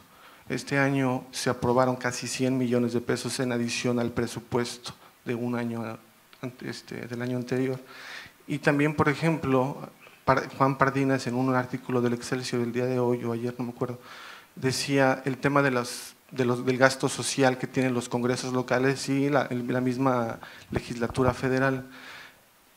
Otra pregunta ahí es también si es realmente válido que un congreso esté realmente ejerciendo ese recurso eh, que es propiamente dado a secretarías de desarrollo social, salud, etcétera, etcétera. Eh, no sé si entiendes un poco el cuestionamiento que te quiero hacer. Gracias. Sí lo entiendo y perfectamente. Empiezo de atrás para adelante. El, hace cuatro, siete años documenté la partida 3907 del Congreso de Sonora. Tenía millones de pesos de ayudas sociales sin el más mínimo control absoluto junto con un medio de comunicación y la organización que yo llevaba, pues documentamos que ni siquiera había comprobaciones sustantivas. Eso llevó a la legislatura a poner la partida en ceros. Ya que nos retiramos y dejamos de observar, después nos dimos cuenta que nada más cambiaron el dinero y ahora se lo mandaron al Ejecutivo. Y el Ejecutivo tiene, cada diputado tiene como que un fondo que va y le dice al Ejecutivo, ahora construyeme en esta comunidad, ponme eh, una cancha y ahora en esta, o sea, tienen como una caja para que los diputados puedan hacer. Pero eso no es un problema de Quintana Roo, es un problema nacional que distorsiona la función sustantiva del diputado, que es representar los intereses de sus distritos y obviamente a partir de ahí este, legislar y controlar al Ejecutivo. El, el control se hace ex ante o ex post, ex ante con los presupuestos y ex post con las auditorías. Pero legislar es fundamental y es la parte sustantiva, es decir, los legisladores no tendrían por qué estar dando. Pero yo lo que te diría es, hay que impulsar las modificaciones. Esto, digo, no es un pecado, sucede, ¿no? Está mal, desde mi perspectiva, sí, se tiene que modificar, por supuesto, tiene que haber controles. En su momento incluso en ciertos estados se podía aparecer así muy transparentemente el recurso que cada diputado recibía y la copia de las notas de remisión y facturas y demás que avalaba la comprobación de ese gasto. Qué bueno, ¿no? Lograron transparentar de manera muy clara eh, en qué se iba y por lo menos ya demostraban los legisladores que no lo recibían y se lo quedaban. ¿Qué pasa a nivel nacional con el famoso bono navideño que los diputados federales recibieron el, año pasado, el pasado diciembre, y que se armó un mega escándalo por cómo, se fue, cómo fue utilizado? No es función de los legisladores, no, es un gran tema, ¿no? Como para impulsar que, nuestros legisladores tengan, sí, el presupuesto debido y adecuado para hacer el trabajo en el que tienen que hacer, pero no necesariamente desgastarse repartiendo dinero con una función que no es la suya. Pero es una distorsión del sistema político en el que la gente lo que va y les pide es resuélveme eh, los útiles escolares, resuélveme eh, la cancha, resuélveme muchas cosas que la gestión, es en serio, es como una tensión entre lo que les pide la gente y lo que ellos pueden hacer. Entonces ahí te quiero ver cuando seas legislador que les digan pues no te puedo dar una cancha o no te puedo resolver el problema de agua potable o no te puedo poner una cisterna o no puedo poner un, drenaje, pero te voy a hacer una iniciativa, ¿no? Tómala. entonces la sociedad es un asunto de incentivos, ¿no? Pero ahí lo dejo, se puede, sí se puede eliminar y puede haber incluso mecanismos ¿no? que vayan limitando esta acción.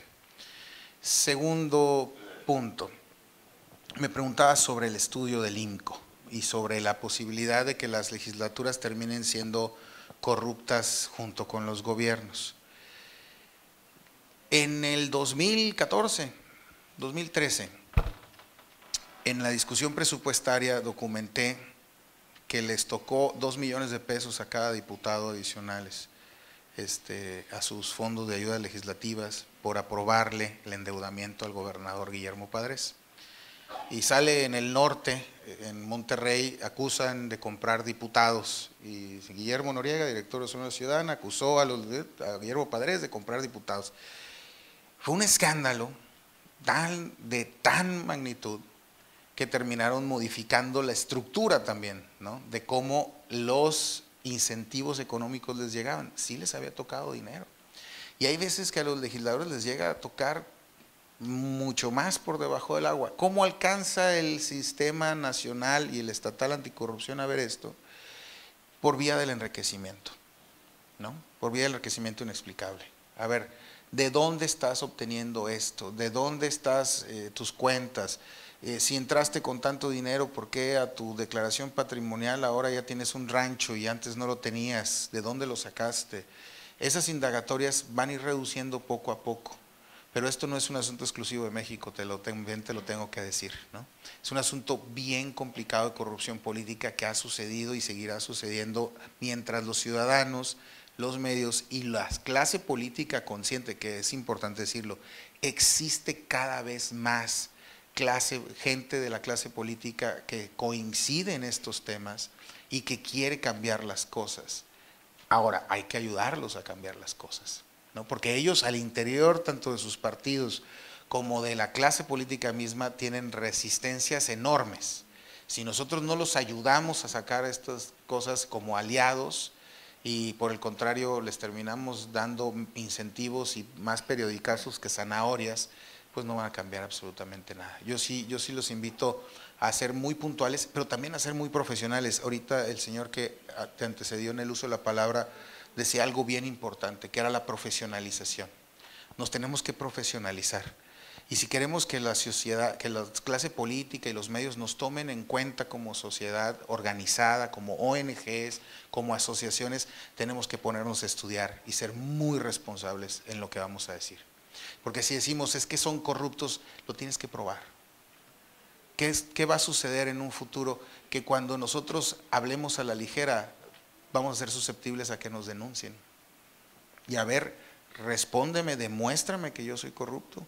Y si nada más lo dijiste porque así lo crees, me lo tienes que demostrar porque mi, mi calidad moral es un, es un, es un valor, es, un, eh, es algo que se resguarda. Entonces yo no puedo andar por la vida diciendo que tú eres corrupto, que eso es lo que sucede muchas veces.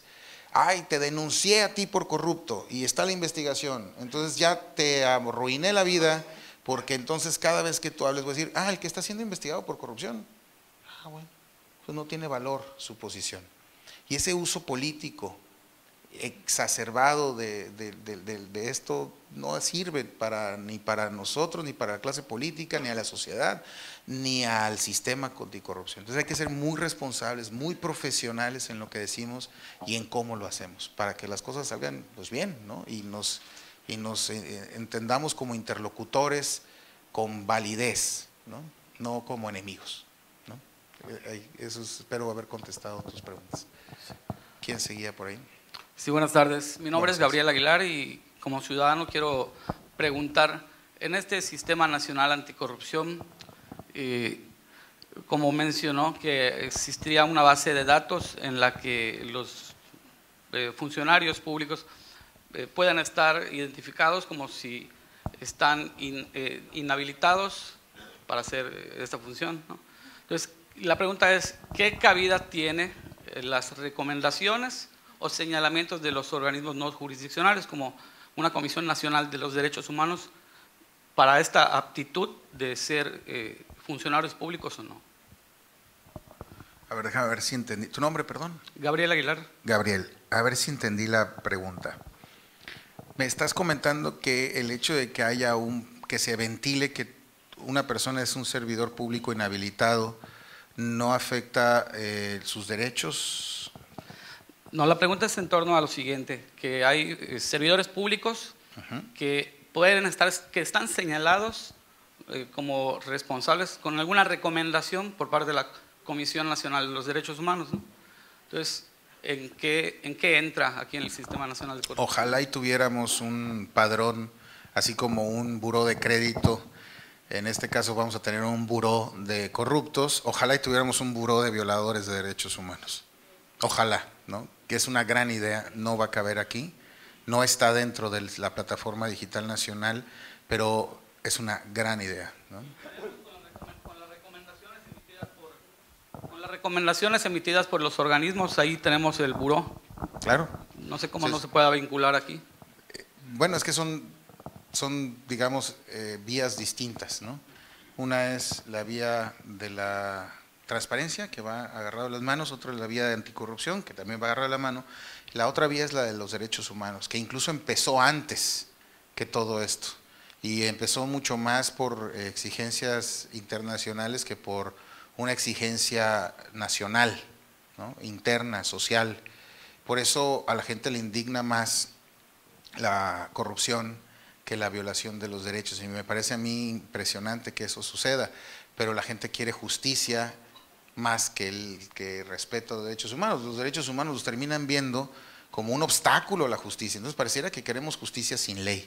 Coincido contigo, debiese existir y es un gran proyecto para las organizaciones no gubernamentales pensar en hacer ese, ese vaciado de todas las recomendaciones. Imaginémonos, Ombudsman, Imaginemos que se hagan todas las recomendaciones y hagamos quiénes son los violadores de derechos humanos, porque sucede mucho que el director de la policía en, Tampico eh, tiene 50 recomendaciones por violador de derechos humanos y se va a trabajar a Monterrey, ¿no? y luego se va a trabajar a otros lados, y, cuando los están contratando en Hermosillo y jamás nos estamos dando cuenta que estamos contratando a un violador de derechos humanos. Es importante, muy buena tu intervención, muchas gracias. Eh, espero comentarte, no va aquí, pero va en otro lado.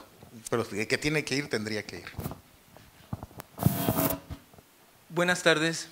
Mi nombre es Luis Santander. Concluías tu intervención señalando que pues no caigamos en el juego de hablar mal o desprestigiar al Sistema Nacional Anticorrupción. Sin embargo, yo quisiera hacer, con afán crítico propositivo, quisiera hacer una aseveración, a ver si merece tu comentario. Al hacer la aseveración no quiere decir que esté yo correcto, estoy consciente de eso. Se conforma el comité coordinador, a la cabeza Jacqueline Pechard, con un prestigio creado a través de su paso por el INAI y el IFE, pero la estructura del, comité pudiera parecer una simulación. ¿En qué un ejemplo, el día de ayer, ¿sí? con el único, con los votos en contra de todos, excepto el de la presidenta, se cancela una posibilidad, pues que realmente es una demanda, pues de la, de la comunidad, del, del, colectivo social respecto a la transparencia, no es un asunto de transparencia, es en la materia de corrupción, de lo de Pegasus. ¿sí? Ahora bien, eh, se invoca por parte de quienes votan en contra, ¿verdad? Que no se configura la hipótesis y, en fin, se, le busca una interpretación, de eso se trata, ¿no? La, confrontación de interpretaciones. Pero ¿hasta qué grado no estamos con el riesgo, no es que el sistema como tal, pero de que haya ciertas facetas que son simulación, ¿verdad? Le damos el nombre, una, una credencial de una ciudadana muy destacada con mucho prestigio, pero es un organismo que cuando llega a ciertos asuntos muy delicados, se cierra y, este, dejan sola a la Presidenta, ¿no? No está usted incorrecto en sus apreciaciones. A mí me preocupó muchísimo la sesión de ayer del comité coordinador, que realmente fue su primera sesión, porque la primera fue instalación, y que su respuesta o la respuesta de las instituciones haya sido no. Es lamentable porque ellos no están dimensionando la importancia y lo que nosotros le estamos poniendo esperanzas a este sistema. Y obviamente esto no se va a quedar aquí, ¿no? O sea, no se queda ahí. Y eso es importante también dejarlo claro. Eh, sí, es complejo porque luego, dijo, el prestigio de una persona que fue mi maestra, además en la universidad, Jacqueline, eh, es intachable, ¿no? no se le puede reprochar nada a Jacqueline. Fue creada su prestigio no en su paso por la administración pública, sino en su paso por la academia. Pero creo que es sumamente relevante que no los dejemos solos. ¿no? Si esto tiene consecuencias en la opinión pública y tiene consecuencias en los estados, que a veces se ve medio lejano, poca gente sabe lo que se está hablando eh, pues tendríamos que eh, presionarlo, ¿no? Y cuando venga, que, nos ha funcionado mucho que cuando venga aquí, por ejemplo, Areli Gómez, que la conozco muy bien, poderle decir, se pasaron, ¿eh? Yo ayer mismo mandé varios mensajes diciéndoles qué decepción, y eso sirve, ¿no? No digo un mensaje mío, yo no soy nadie, un mensaje de varios y el rechazo y la desaprobación social sí les importa o les llega a importar cuando llega a determinados este, niveles. Creo que este tema es, es importante, el de Pegasus, pero lo que trae usted a colación es todavía más importante. Tenemos que evitar que sean instituciones de simulación. Totalmente de acuerdo. Gracias. ¿Quién? Buenas tardes. Mi nombre es Octavio Pérez Priego vengo de la mesa de la Asociación de Egresados de la Universidad Americana en la parte de políticas públicas y corrupción. Dos preguntas. La primera, eh, ¿era necesario realmente estructurar un sistema de anticorrupción como el que se plantea?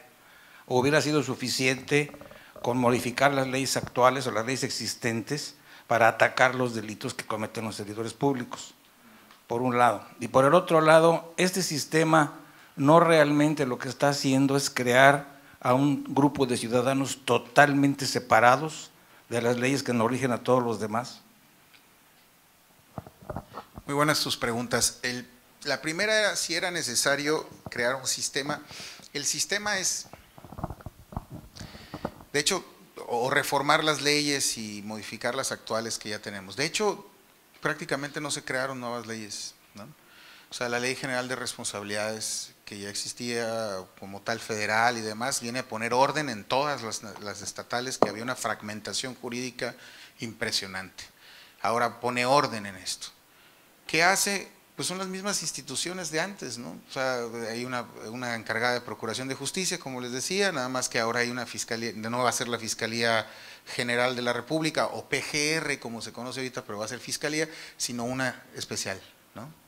Eh, ya no es eh, como tal el Poder Judicial, es un tribunal de justicia administrativa. Este, pero ya existían, ¿no? O sea, nada más lo que hacemos es ordenar todo en un sistema coherente. Y pues la Auditoría Superior de la Federación, ahí está, ya existía, igual aquí también su Auditoría Mayor. En general no hay nuevas instituciones. La única nueva es la Secretaría Ejecutiva, que le tiene que permitir la operación al, sistema, y el Comité de Participación Ciudadana. Entonces no hay un nuevo entramado. De hecho, ¿cuáles se reforman? Se reforma la de responsabilidades, la ley orgánica de la administración pública, la ley orgánica de la fiscalía, la ley orgánica de la, del tribunal, la constitución obviamente, la ley, hay una, la ley de fiscalización, ley general, que es importantísimo eh, observarla. O sea, son muy pocas nuevas leyes. Lo que se hizo es ajustar lo que ya tenemos. Y la segunda pregunta, ¿cuál era? Perdón, este, se me escapó. Si realmente este sistema no está creando un grupo de ciudadanos totalmente diferentes a todos los demás, porque hay que, hay que tratarlos con un, paquete legal que se ajusta justamente a sus actividades. No, de hecho, es, es al revés, es adicional a.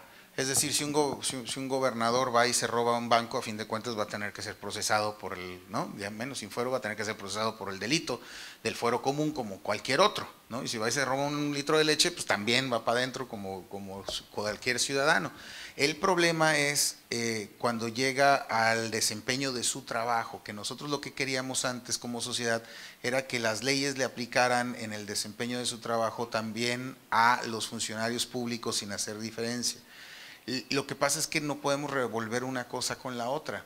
En el desempeño de tus funciones públicas necesitábamos tener leyes muy claras que no permitieran que eh, pues se traspapelaran con otros casos y como les decía yo, es una autopista paralela a lo demás. Eres funcionario público y tus delitos relacionados con tu, desempeño tendrás estas, estas este, eh, sanciones y también hay que diferenciar, regularmente en este país paga más quien mete la pata que quien mete la mano, o sea, por decirlo de una manera coloquial.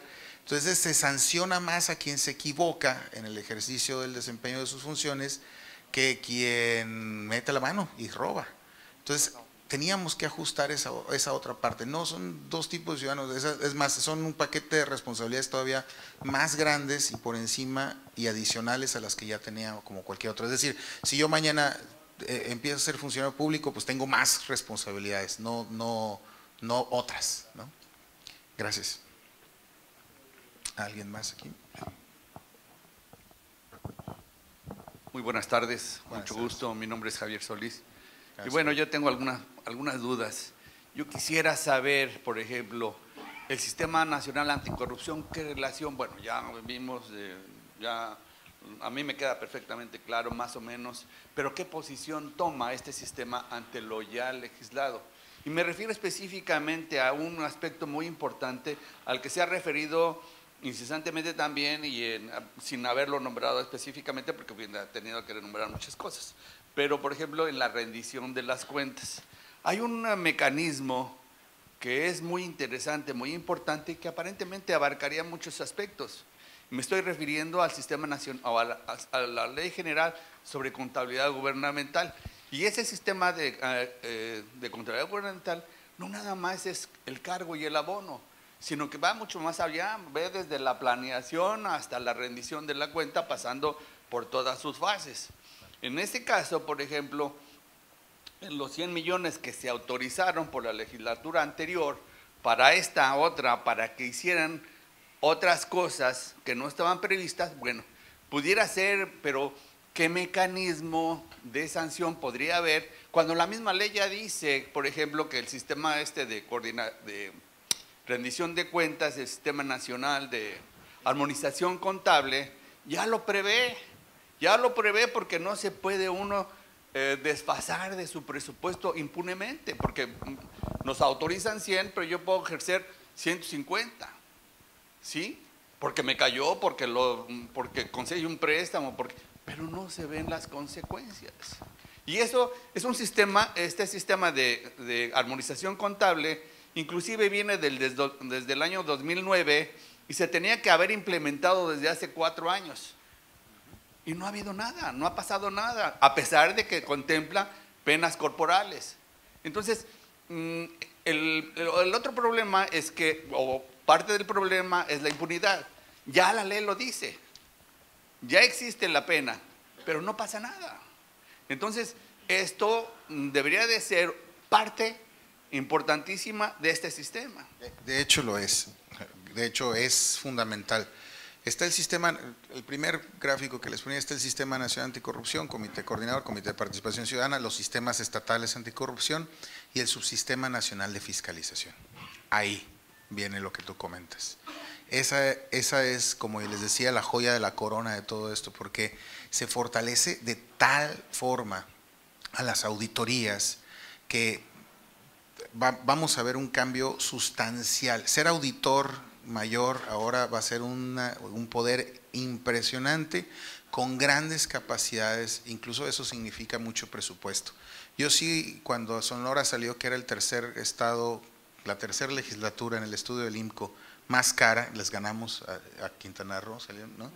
Eh, yo, yo, sí cuestioné a, los coordinadores parlamentarios de las razones y me dijeron, una razón y me lo demostraron y eh, habría que ver si es la misma lógica en todos, es precisamente por, por el fortalecimiento de las capacidades del Instituto Sonorense de Auditoría y Fiscalización, que a partir del próximo año deja de ser parte del Congreso y se convertirá en un organismo autónomo. Ahora, eh, a lo mejor vale la pena, y no, no a lo mejor, vale la pena echarle un ojo a la ley General de Fiscalización y Rendición de Cuentas.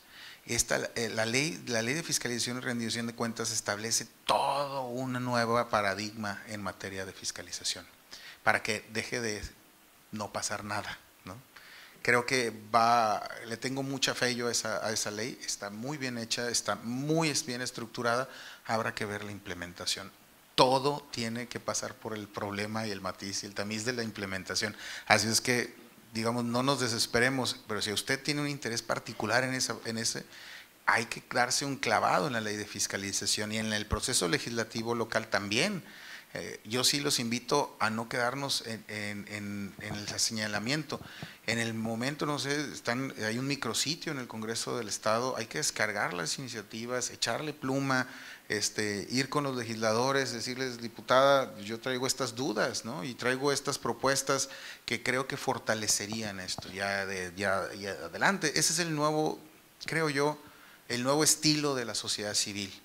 Este, salir de, de los tomatazos y de pegar de gritos en medios para llegar y sentarnos con los legisladores y trabajar y decirle, mira, tengo esta propuesta y es mejor que la tuya por estas razones. No necesariamente de nombramientos, que yo siempre he estado en contra de que la sociedad civil busque también entrar a la lógica de la repartición de, cuotas, sino más bien en lo sustantivo, en las leyes. Entonces, sí le digo, sí está incluido, es parte del subsistema nacional de fiscalización y va a ser un cambio de paradigma impresionante. Nota, hay quienes todavía dicen, es que no pasa nada, es un nuevo sistema anticorrupción y yo les digo, es que todavía no empieza. todavía falta. Ya le están echando al sistema anticorrupción muchos, pero todavía no empieza. Apenas está caminando, dando sus primeros pasos. Entonces hay que participar en él, en lo, especialmente aquí en lo local. Muchas gracias por su pregunta. Sí. Gracias, buenas tardes. Salvador Bringas Estrada, servidor. Salvador, mucho gusto. Mira, eh, bueno, antes que de hacer mi pregunta había que partir de lo siguiente. La corrupción no es un fenómeno que exista por sí mismo solamente se da a partir de la conducta del, ser humano. Eh, hoy en día, precisamente, ningún sistema normativo, trátese de transparencia, trátese de rendición de cuentas o trátese de, sistema anticorrupción, opera si no existe el principio de la cultura de la legalidad. La dialéctica de la corrupción en nuestro Estado ha sido tal que hoy en día los corruptos se disfrazan de autodefensas en las redes sociales. Este, la pregunta radica en lo siguiente. En tu opinión, ¿qué debe de hacer el Estado para que vuelva a permear en la conducta tanto de la población como de los integrantes de los entes públicos del Estado? Este, la cultura de la legalidad. Gracias. Esa es la clave. La clave y es básico. A mí me decía un ciudadano en Navojoa, Sonora, el miércoles, el jueves pasado, es que esto no, no, debiese existir, oiga. Le digo, no, sino, y tampoco las comisiones de derechos humanos deberían de existir, y no deberían de existir este, los topes en las calles, y no deberían de existir nada de todo esto si obedeciéramos la ley, si le tuviéramos como valor de ética pública así tan arraigado la defensa del cumplimiento de la ley, de la cultura de la legalidad. Y yo les ponía de ejemplo los topes. Navajo está repleto de topes por todos lados. ¿Por qué? Porque la gente le vale cacahuate el límite de velocidad y ha habido atropellamientos, choques terribles. ¿no? Pues innecesario los topes, totalmente innecesarios si cumpliésemos la ley, pero no lo cumplimos. Necesitamos amarrarnos las manos y autorregularnos a nosotros mismos para poder cambiar y poder, digamos, tener una mínima vida en, comunidad. Hay un autor que les recomiendo mucho, y también fue mi maestro en la especialidad en la Universidad de Chile, que se llama Robert Klitgard. Robert es un californiano que en algún momento va a ser premio Nobel, estoy seguro, pero él determinó, y se llama la fórmula Klitgard, dice, corrupción es igual a monopolio más discrecionalidad menos rendición de cuentas. Esa es la fórmula de la corrupción. Es decir, corrupción, si en cualquier lugar, cualquier decisión, que haya discrecionalidad en la toma de decisiones, o sea, yo puedo rentar este lugar o puedo rentar el otro y no pasa nada, ¿no? es mi decisión, además monopólica, ¿no? más monopolio de la decisión. Y no tengo que rendirle cuentas absolutamente a nadie, va a haber corrupción, ¿no? en una alta proporción. Si nadie me va a decir, ah, pues entonces rento el, salón de mi esposa, ¿no? o el de mi suegro, o el de mi cuñado, ¿no? porque si no le tengo que dar explicaciones a nadie, si lo más probable es que pase eso. Entonces, ¿qué hay que hacer para combatir la corrupción? Reducir los espacios de discrecionalidad, no permitir que las decisiones recaigan en solamente en una persona o en un grupo sin que haya controles y fortalecer la rendición de cuentas. Y yo le decía a, a, Robert, sí, qué bueno, pero todo esto es lo que estamos haciendo en el Sistema Nacional Anticorrupción en México. ¿Cómo le vamos a hacer para cambiarnos nosotros a nosotros mismos? Y usted me pregunta, Salvador, ¿qué tiene que hacer el Estado? Yo diría el Estado con mayúsculas el Estado hablando de todos los poderes constituidos, incluyendo también la población. ¿Qué vamos a hacer como sociedad para cambiarnos y poder apreciar que ganamos más respetando la ley que teniendo más policías? ¿Qué vamos a hacer para entender que no nos va a alcanzar el dinero para estarnos cuidando? Y yo me acuerdo, en París vi un, un camión y una campaña muy interesante de los tiradores de basura, de los recolectores de basura, que eran superhéroes los recolectores de basura. Entonces eh, había un espectacular en donde va el señor arriba del camión y como hombre elástico, eh, estirando la mano para evitar que una señora que tiró una soda, al, tirándola al piso, cachándole, le decía, no somos superhéroes, ¿no? La clave es que tú no la tires, ¿no? Pero eh, nos hace falta una política de Estado que trascienda a los gobiernos, que no dependa de que si el próximo gobernador o presidente quiera o no quiera. Nos hace falta una política de Estado como tal, ¿no? para poderle dar ese valor a la, legalidad. Y hay una cosa adicional, hace poquito escribí una columna, les recomiendo que los busquen ahí en Google, se llama eh, Regañémonos o Cambiarnos, Cambiarnos se llama, Cambiarnos y explicaba dos sucesos que a mí me pasaron en la vida y, se los cuento muy rápido que me generaron un cambio a mí en lo personal. El primero en la colonia Condesa, un día cualquiera, yo fumaba mucho antes, termino una cajetilla de cigarros, estaba yo arriba de un carro y la tiré. Lo acepto, me da culpa. Saqué la mano, se me hizo fácil, solté estaba estacionado, se para un señor en un suru y me grita, oye, pásamela, no, yo la tiro, pásamela, yo lo voy y la tiro, la cajetilla, y yo, ¿de qué está hablando este señor? pásamela. No, perdón, me bajé, la agarré y me dio mucha vergüenza.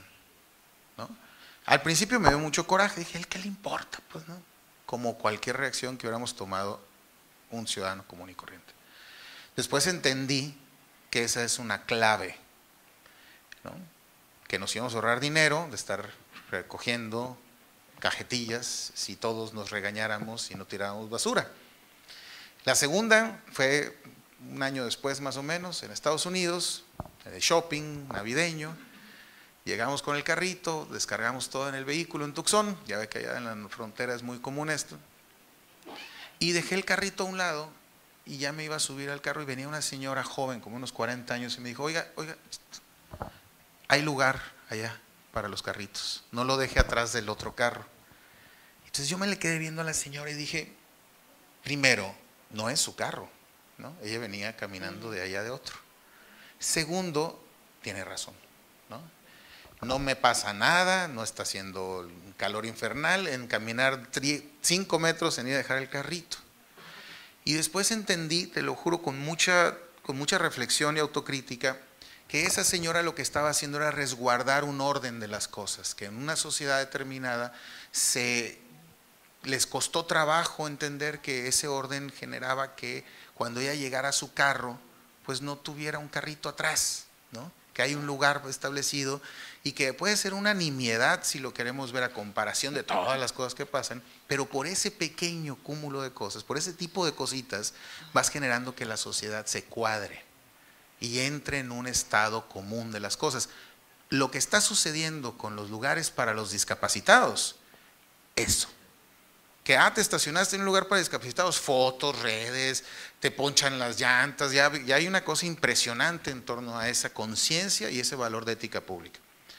¿Cómo le hacemos para cambiar? Pues bueno, hay muchas cosas que podemos ir modificándonos a partir del regaño público, ¿no? En corto incluso. Espero haber contestado o por lo menos echado un poquito de luz a, tu pregunta. Perdón, es para que digan que una mujer participó hay muchos caballeros antes de mí. Buenas tardes. Buenas tardes. Eh, brevemente, creo que la anticorrupción es como el dicho ese que dicen que el amor y el dinero no se pueden ocultar. Cuando alguien es corrupto se ve. No hay necesidad de denunciarlo, ¿no? Las autoridades mismas encargadas de vigilar que se cumplan las leyes pueden em, iniciar una investigación al respecto. Eso. ¿Qué está haciendo en todo este sistema nacional de anticorrupción para involucrar también a las autoridades educativas? porque esto viene desde abajo, ¿no? O sea, dicen que cuando alguien actúa bien, se porta bien, es porque lo aprendió. Y hace mucho tiempo que dejaron de haber en las escuelas esas campañas de, donde involucraban al sector salud, donde involucraban a, los sistemas de protección civil, etcétera, ¿no? Y otra cosa también, este, dentro de esa misma educación podría caber también en las áreas de psicología, ¿sí? ir permeando niños, jóvenes mexicanos, que les hicieran ver a todas las personas que ocupan un cargo público de que eso es pasajero. O sea, muchas personas suben y porque se les llaman, soy consejero, soy presidente, soy gobernador, soy presidente municipal, uh, soy más, tengo poder, me pierdo. ¿No? Eso sucede, ya ha sucedido y hay estudios al respecto. Muchas gracias. Fíjate, qué bueno que lo... ¿Tu nombre otra vez, perdón? Araceli. Gracias, Araceli. Fíjate que hay ejemplos internacionales de cómo el sistema educativo eh, ha sido el que ha ido moldeándolo todo, todo el cambio. Si nosotros nos quedamos en la parte de perseguir corruptos y cambiar leyes, eh, vamos a seguir llevando gente corrupta a los puestos que va a buscar cómo torcer o cómo innovar para seguirlo haciendo. O sea, tenemos que empezar por reconocer el problema. Somos una sociedad corrupta no nos gusta. Digo, si fuera yo un político que lo viene a decir, capaz y hasta tomatazos me avientan. Pero yo soy un ciudadano igual que ustedes. ¿no? Somos una sociedad corrupta. Y llevamos a los puestos públicos ¿no? a personas que vienen de esta sociedad. ¿no? Pues sí, cortamos los incentivos, pero si no invertimos en la educación y en cambiarnos, no vamos a lograr mucho. no, no nos va a alcanzar. La prevención es fundamental. Y justamente en la recesión del día de ayer del comité coordinador se va a hacer una consulta pública y en esa consulta pública se tendrá que definir metas y objetivos muy claros para poder determinar esta política de Estado. Yo considero que la columna vertebral de esta política de Estado de anticorrupción es la educación. Y hace muchos años que se cancelaron las, las clases de civismo y que no nos extrañe que el resultado sea todo esto. ¿no? Sociedades sin respeto por la ley, sociedades que no nos, no nos respetamos entre nosotros mismos. No nada más nos respetamos, no confiamos ni siquiera entre nosotros mismos. Pero muchas gracias por tu pregunta. Bien, pues. Se acabó. Pues muchas gracias. Muchas gracias. Un aplauso para nuestro conferencista. Invitamos a las autoridades a que nos acompañen aquí en el escenario.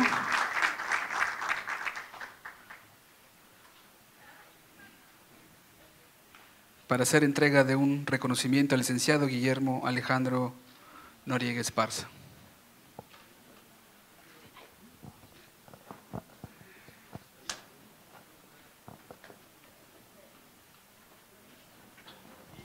Bueno, nada más antes de, la entrega del, reconocimiento, eh, nada más agradecerles a todos eh, haber venido, su participación decirles que para nosotros los diputados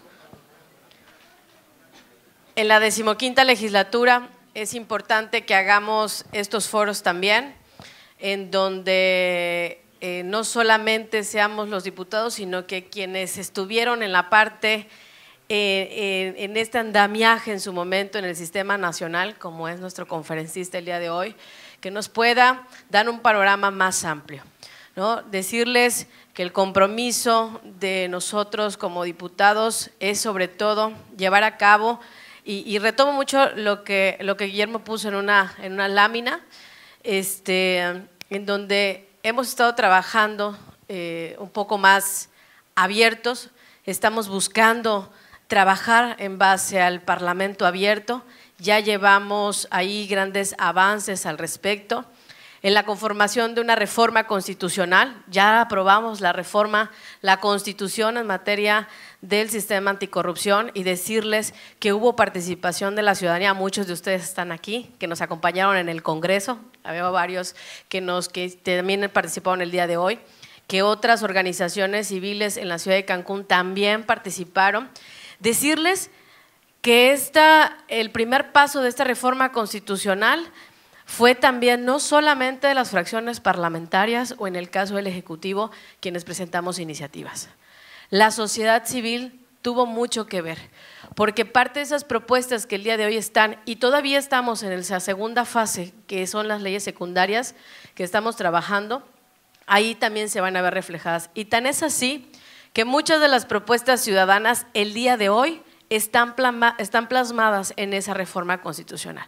Y pongo el ejemplo de manera muy clara a nivel nacional, y está Guillermo, si, me puede aclarar si me equivoco, los magistrados del Tribunal de Justicia Administrativa a nivel federal los va a designar el presidente de la República. En Quintana Roo no los va a determinar el gobernador. Se hizo una práctica de pesos y contrapesos en Quintana Roo, en donde tendrá que ver la legislatura del Estado y el Ejecutivo. Ahí está el peso y contrapeso, no la discrecionalidad solamente para uno. Dos, en el nombramiento del fiscal anticorrupción a nivel nacional, el fiscal general va a nombrar al fiscal anticorrupción junto con el Senado. Aquí lo que estamos haciendo es que la facultad la tendría el fiscal general del Estado nombrar al fiscal anticorrupción como lo tienen las otras fiscalías especializadas que tiene. El día de hoy no, hay un peso y contrapeso en el que la legislatura a través, y todas estas van a ser a través de convocatorias públicas y abiertas. La práctica antes era que a través de los grupos parlamentarios, estas son las propuestas y sobre ese, ese, ese eh, cúmulo de, de ciudadanos se va a decidir. El día de hoy va a haber convocatorias públicas, abiertas, en donde la ciudadanía se va a poder registrar y siempre y cuando cumpla con los requisitos establecidos, serán de los que se van a tomar esas propuestas y en su momento dárselas al fiscal para que dentro de esa terna decida. Estamos haciendo un trabajo, esas fueron propuestas que fueron realmente una fusión de entre lo que propusimos los partidos políticos, de lo que propuso el Poder Ejecutivo y lo que propuso la ciudadanía. El día de hoy en Quintana Roo, de eso podemos decir que estemos orgullosos. Como decía Guillermo, como dice nuestro conferencista, no es un tema fácil, no es un tema que seguramente van a haber varios errores en el camino, pero que seguramente también la sociedad misma, como lo han hecho en Quintana Roo, vamos a buscar que las cosas sigan siendo y sean cada vez más transparentes, con más rendición de cuentas. El día de hoy les invito, para aquellos que, lo sepan o los que no lo sepan, tenemos un micrositio. Pocos de los estados que está trabajando en anticorrupción, existe un micrositio. En Quintana Roo lo hicimos a partir de que empezamos a trabajar el sistema anticorrupción. Y la Comisión Anticorrupción eh, quienes estamos ahí dijimos, tenemos que implementar un micrositio en donde pueden ingresar cualquiera de ustedes. Tiene acceso directo a todas las iniciativas presentadas en formato PDF, en formato Word, los decretos aprobados, las fotografías de los eventos y las actividades que hemos realizado y aparte hay un espacio para poder hacer observaciones o consideraciones de la ciudadanía. Eso es lo que estamos haciendo. Eso es lo que queremos, ¿no? Y, en donde haya una mayor participación de la ciudadanía, de la sociedad, y que de esa manera trabajemos.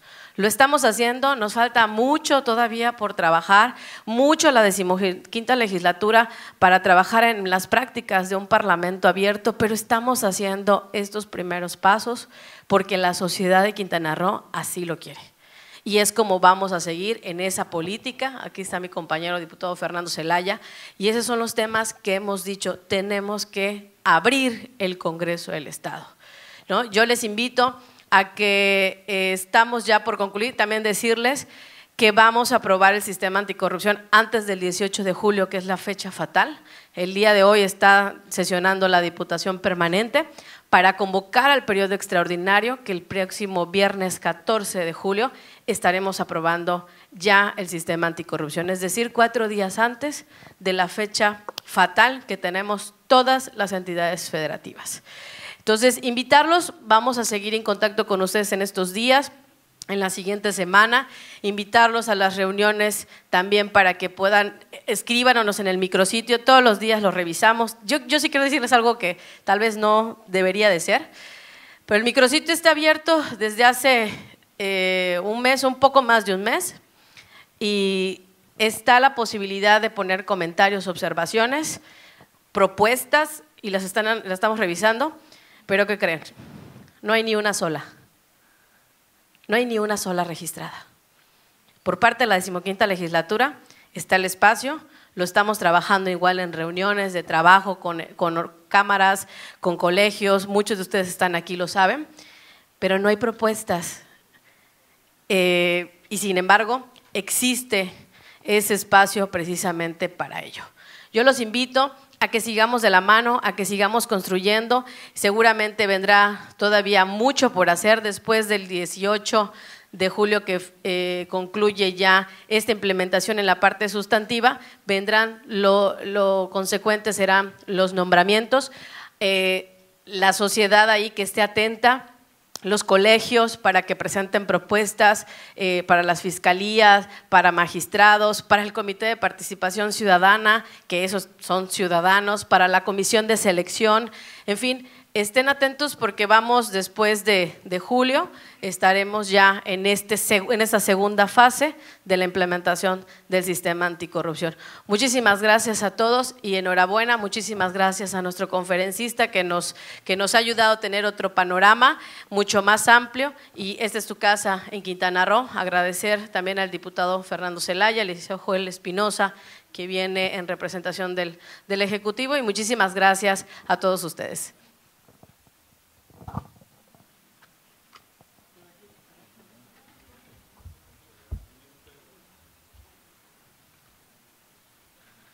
Se hace entrega de un reconocimiento al licenciado Guillermo Alejandro Noriega Esparza.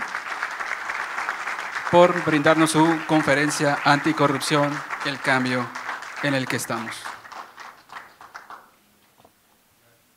Es así como damos por terminado este evento. Les agradecemos a todos su amable asistencia. Buenas tardes.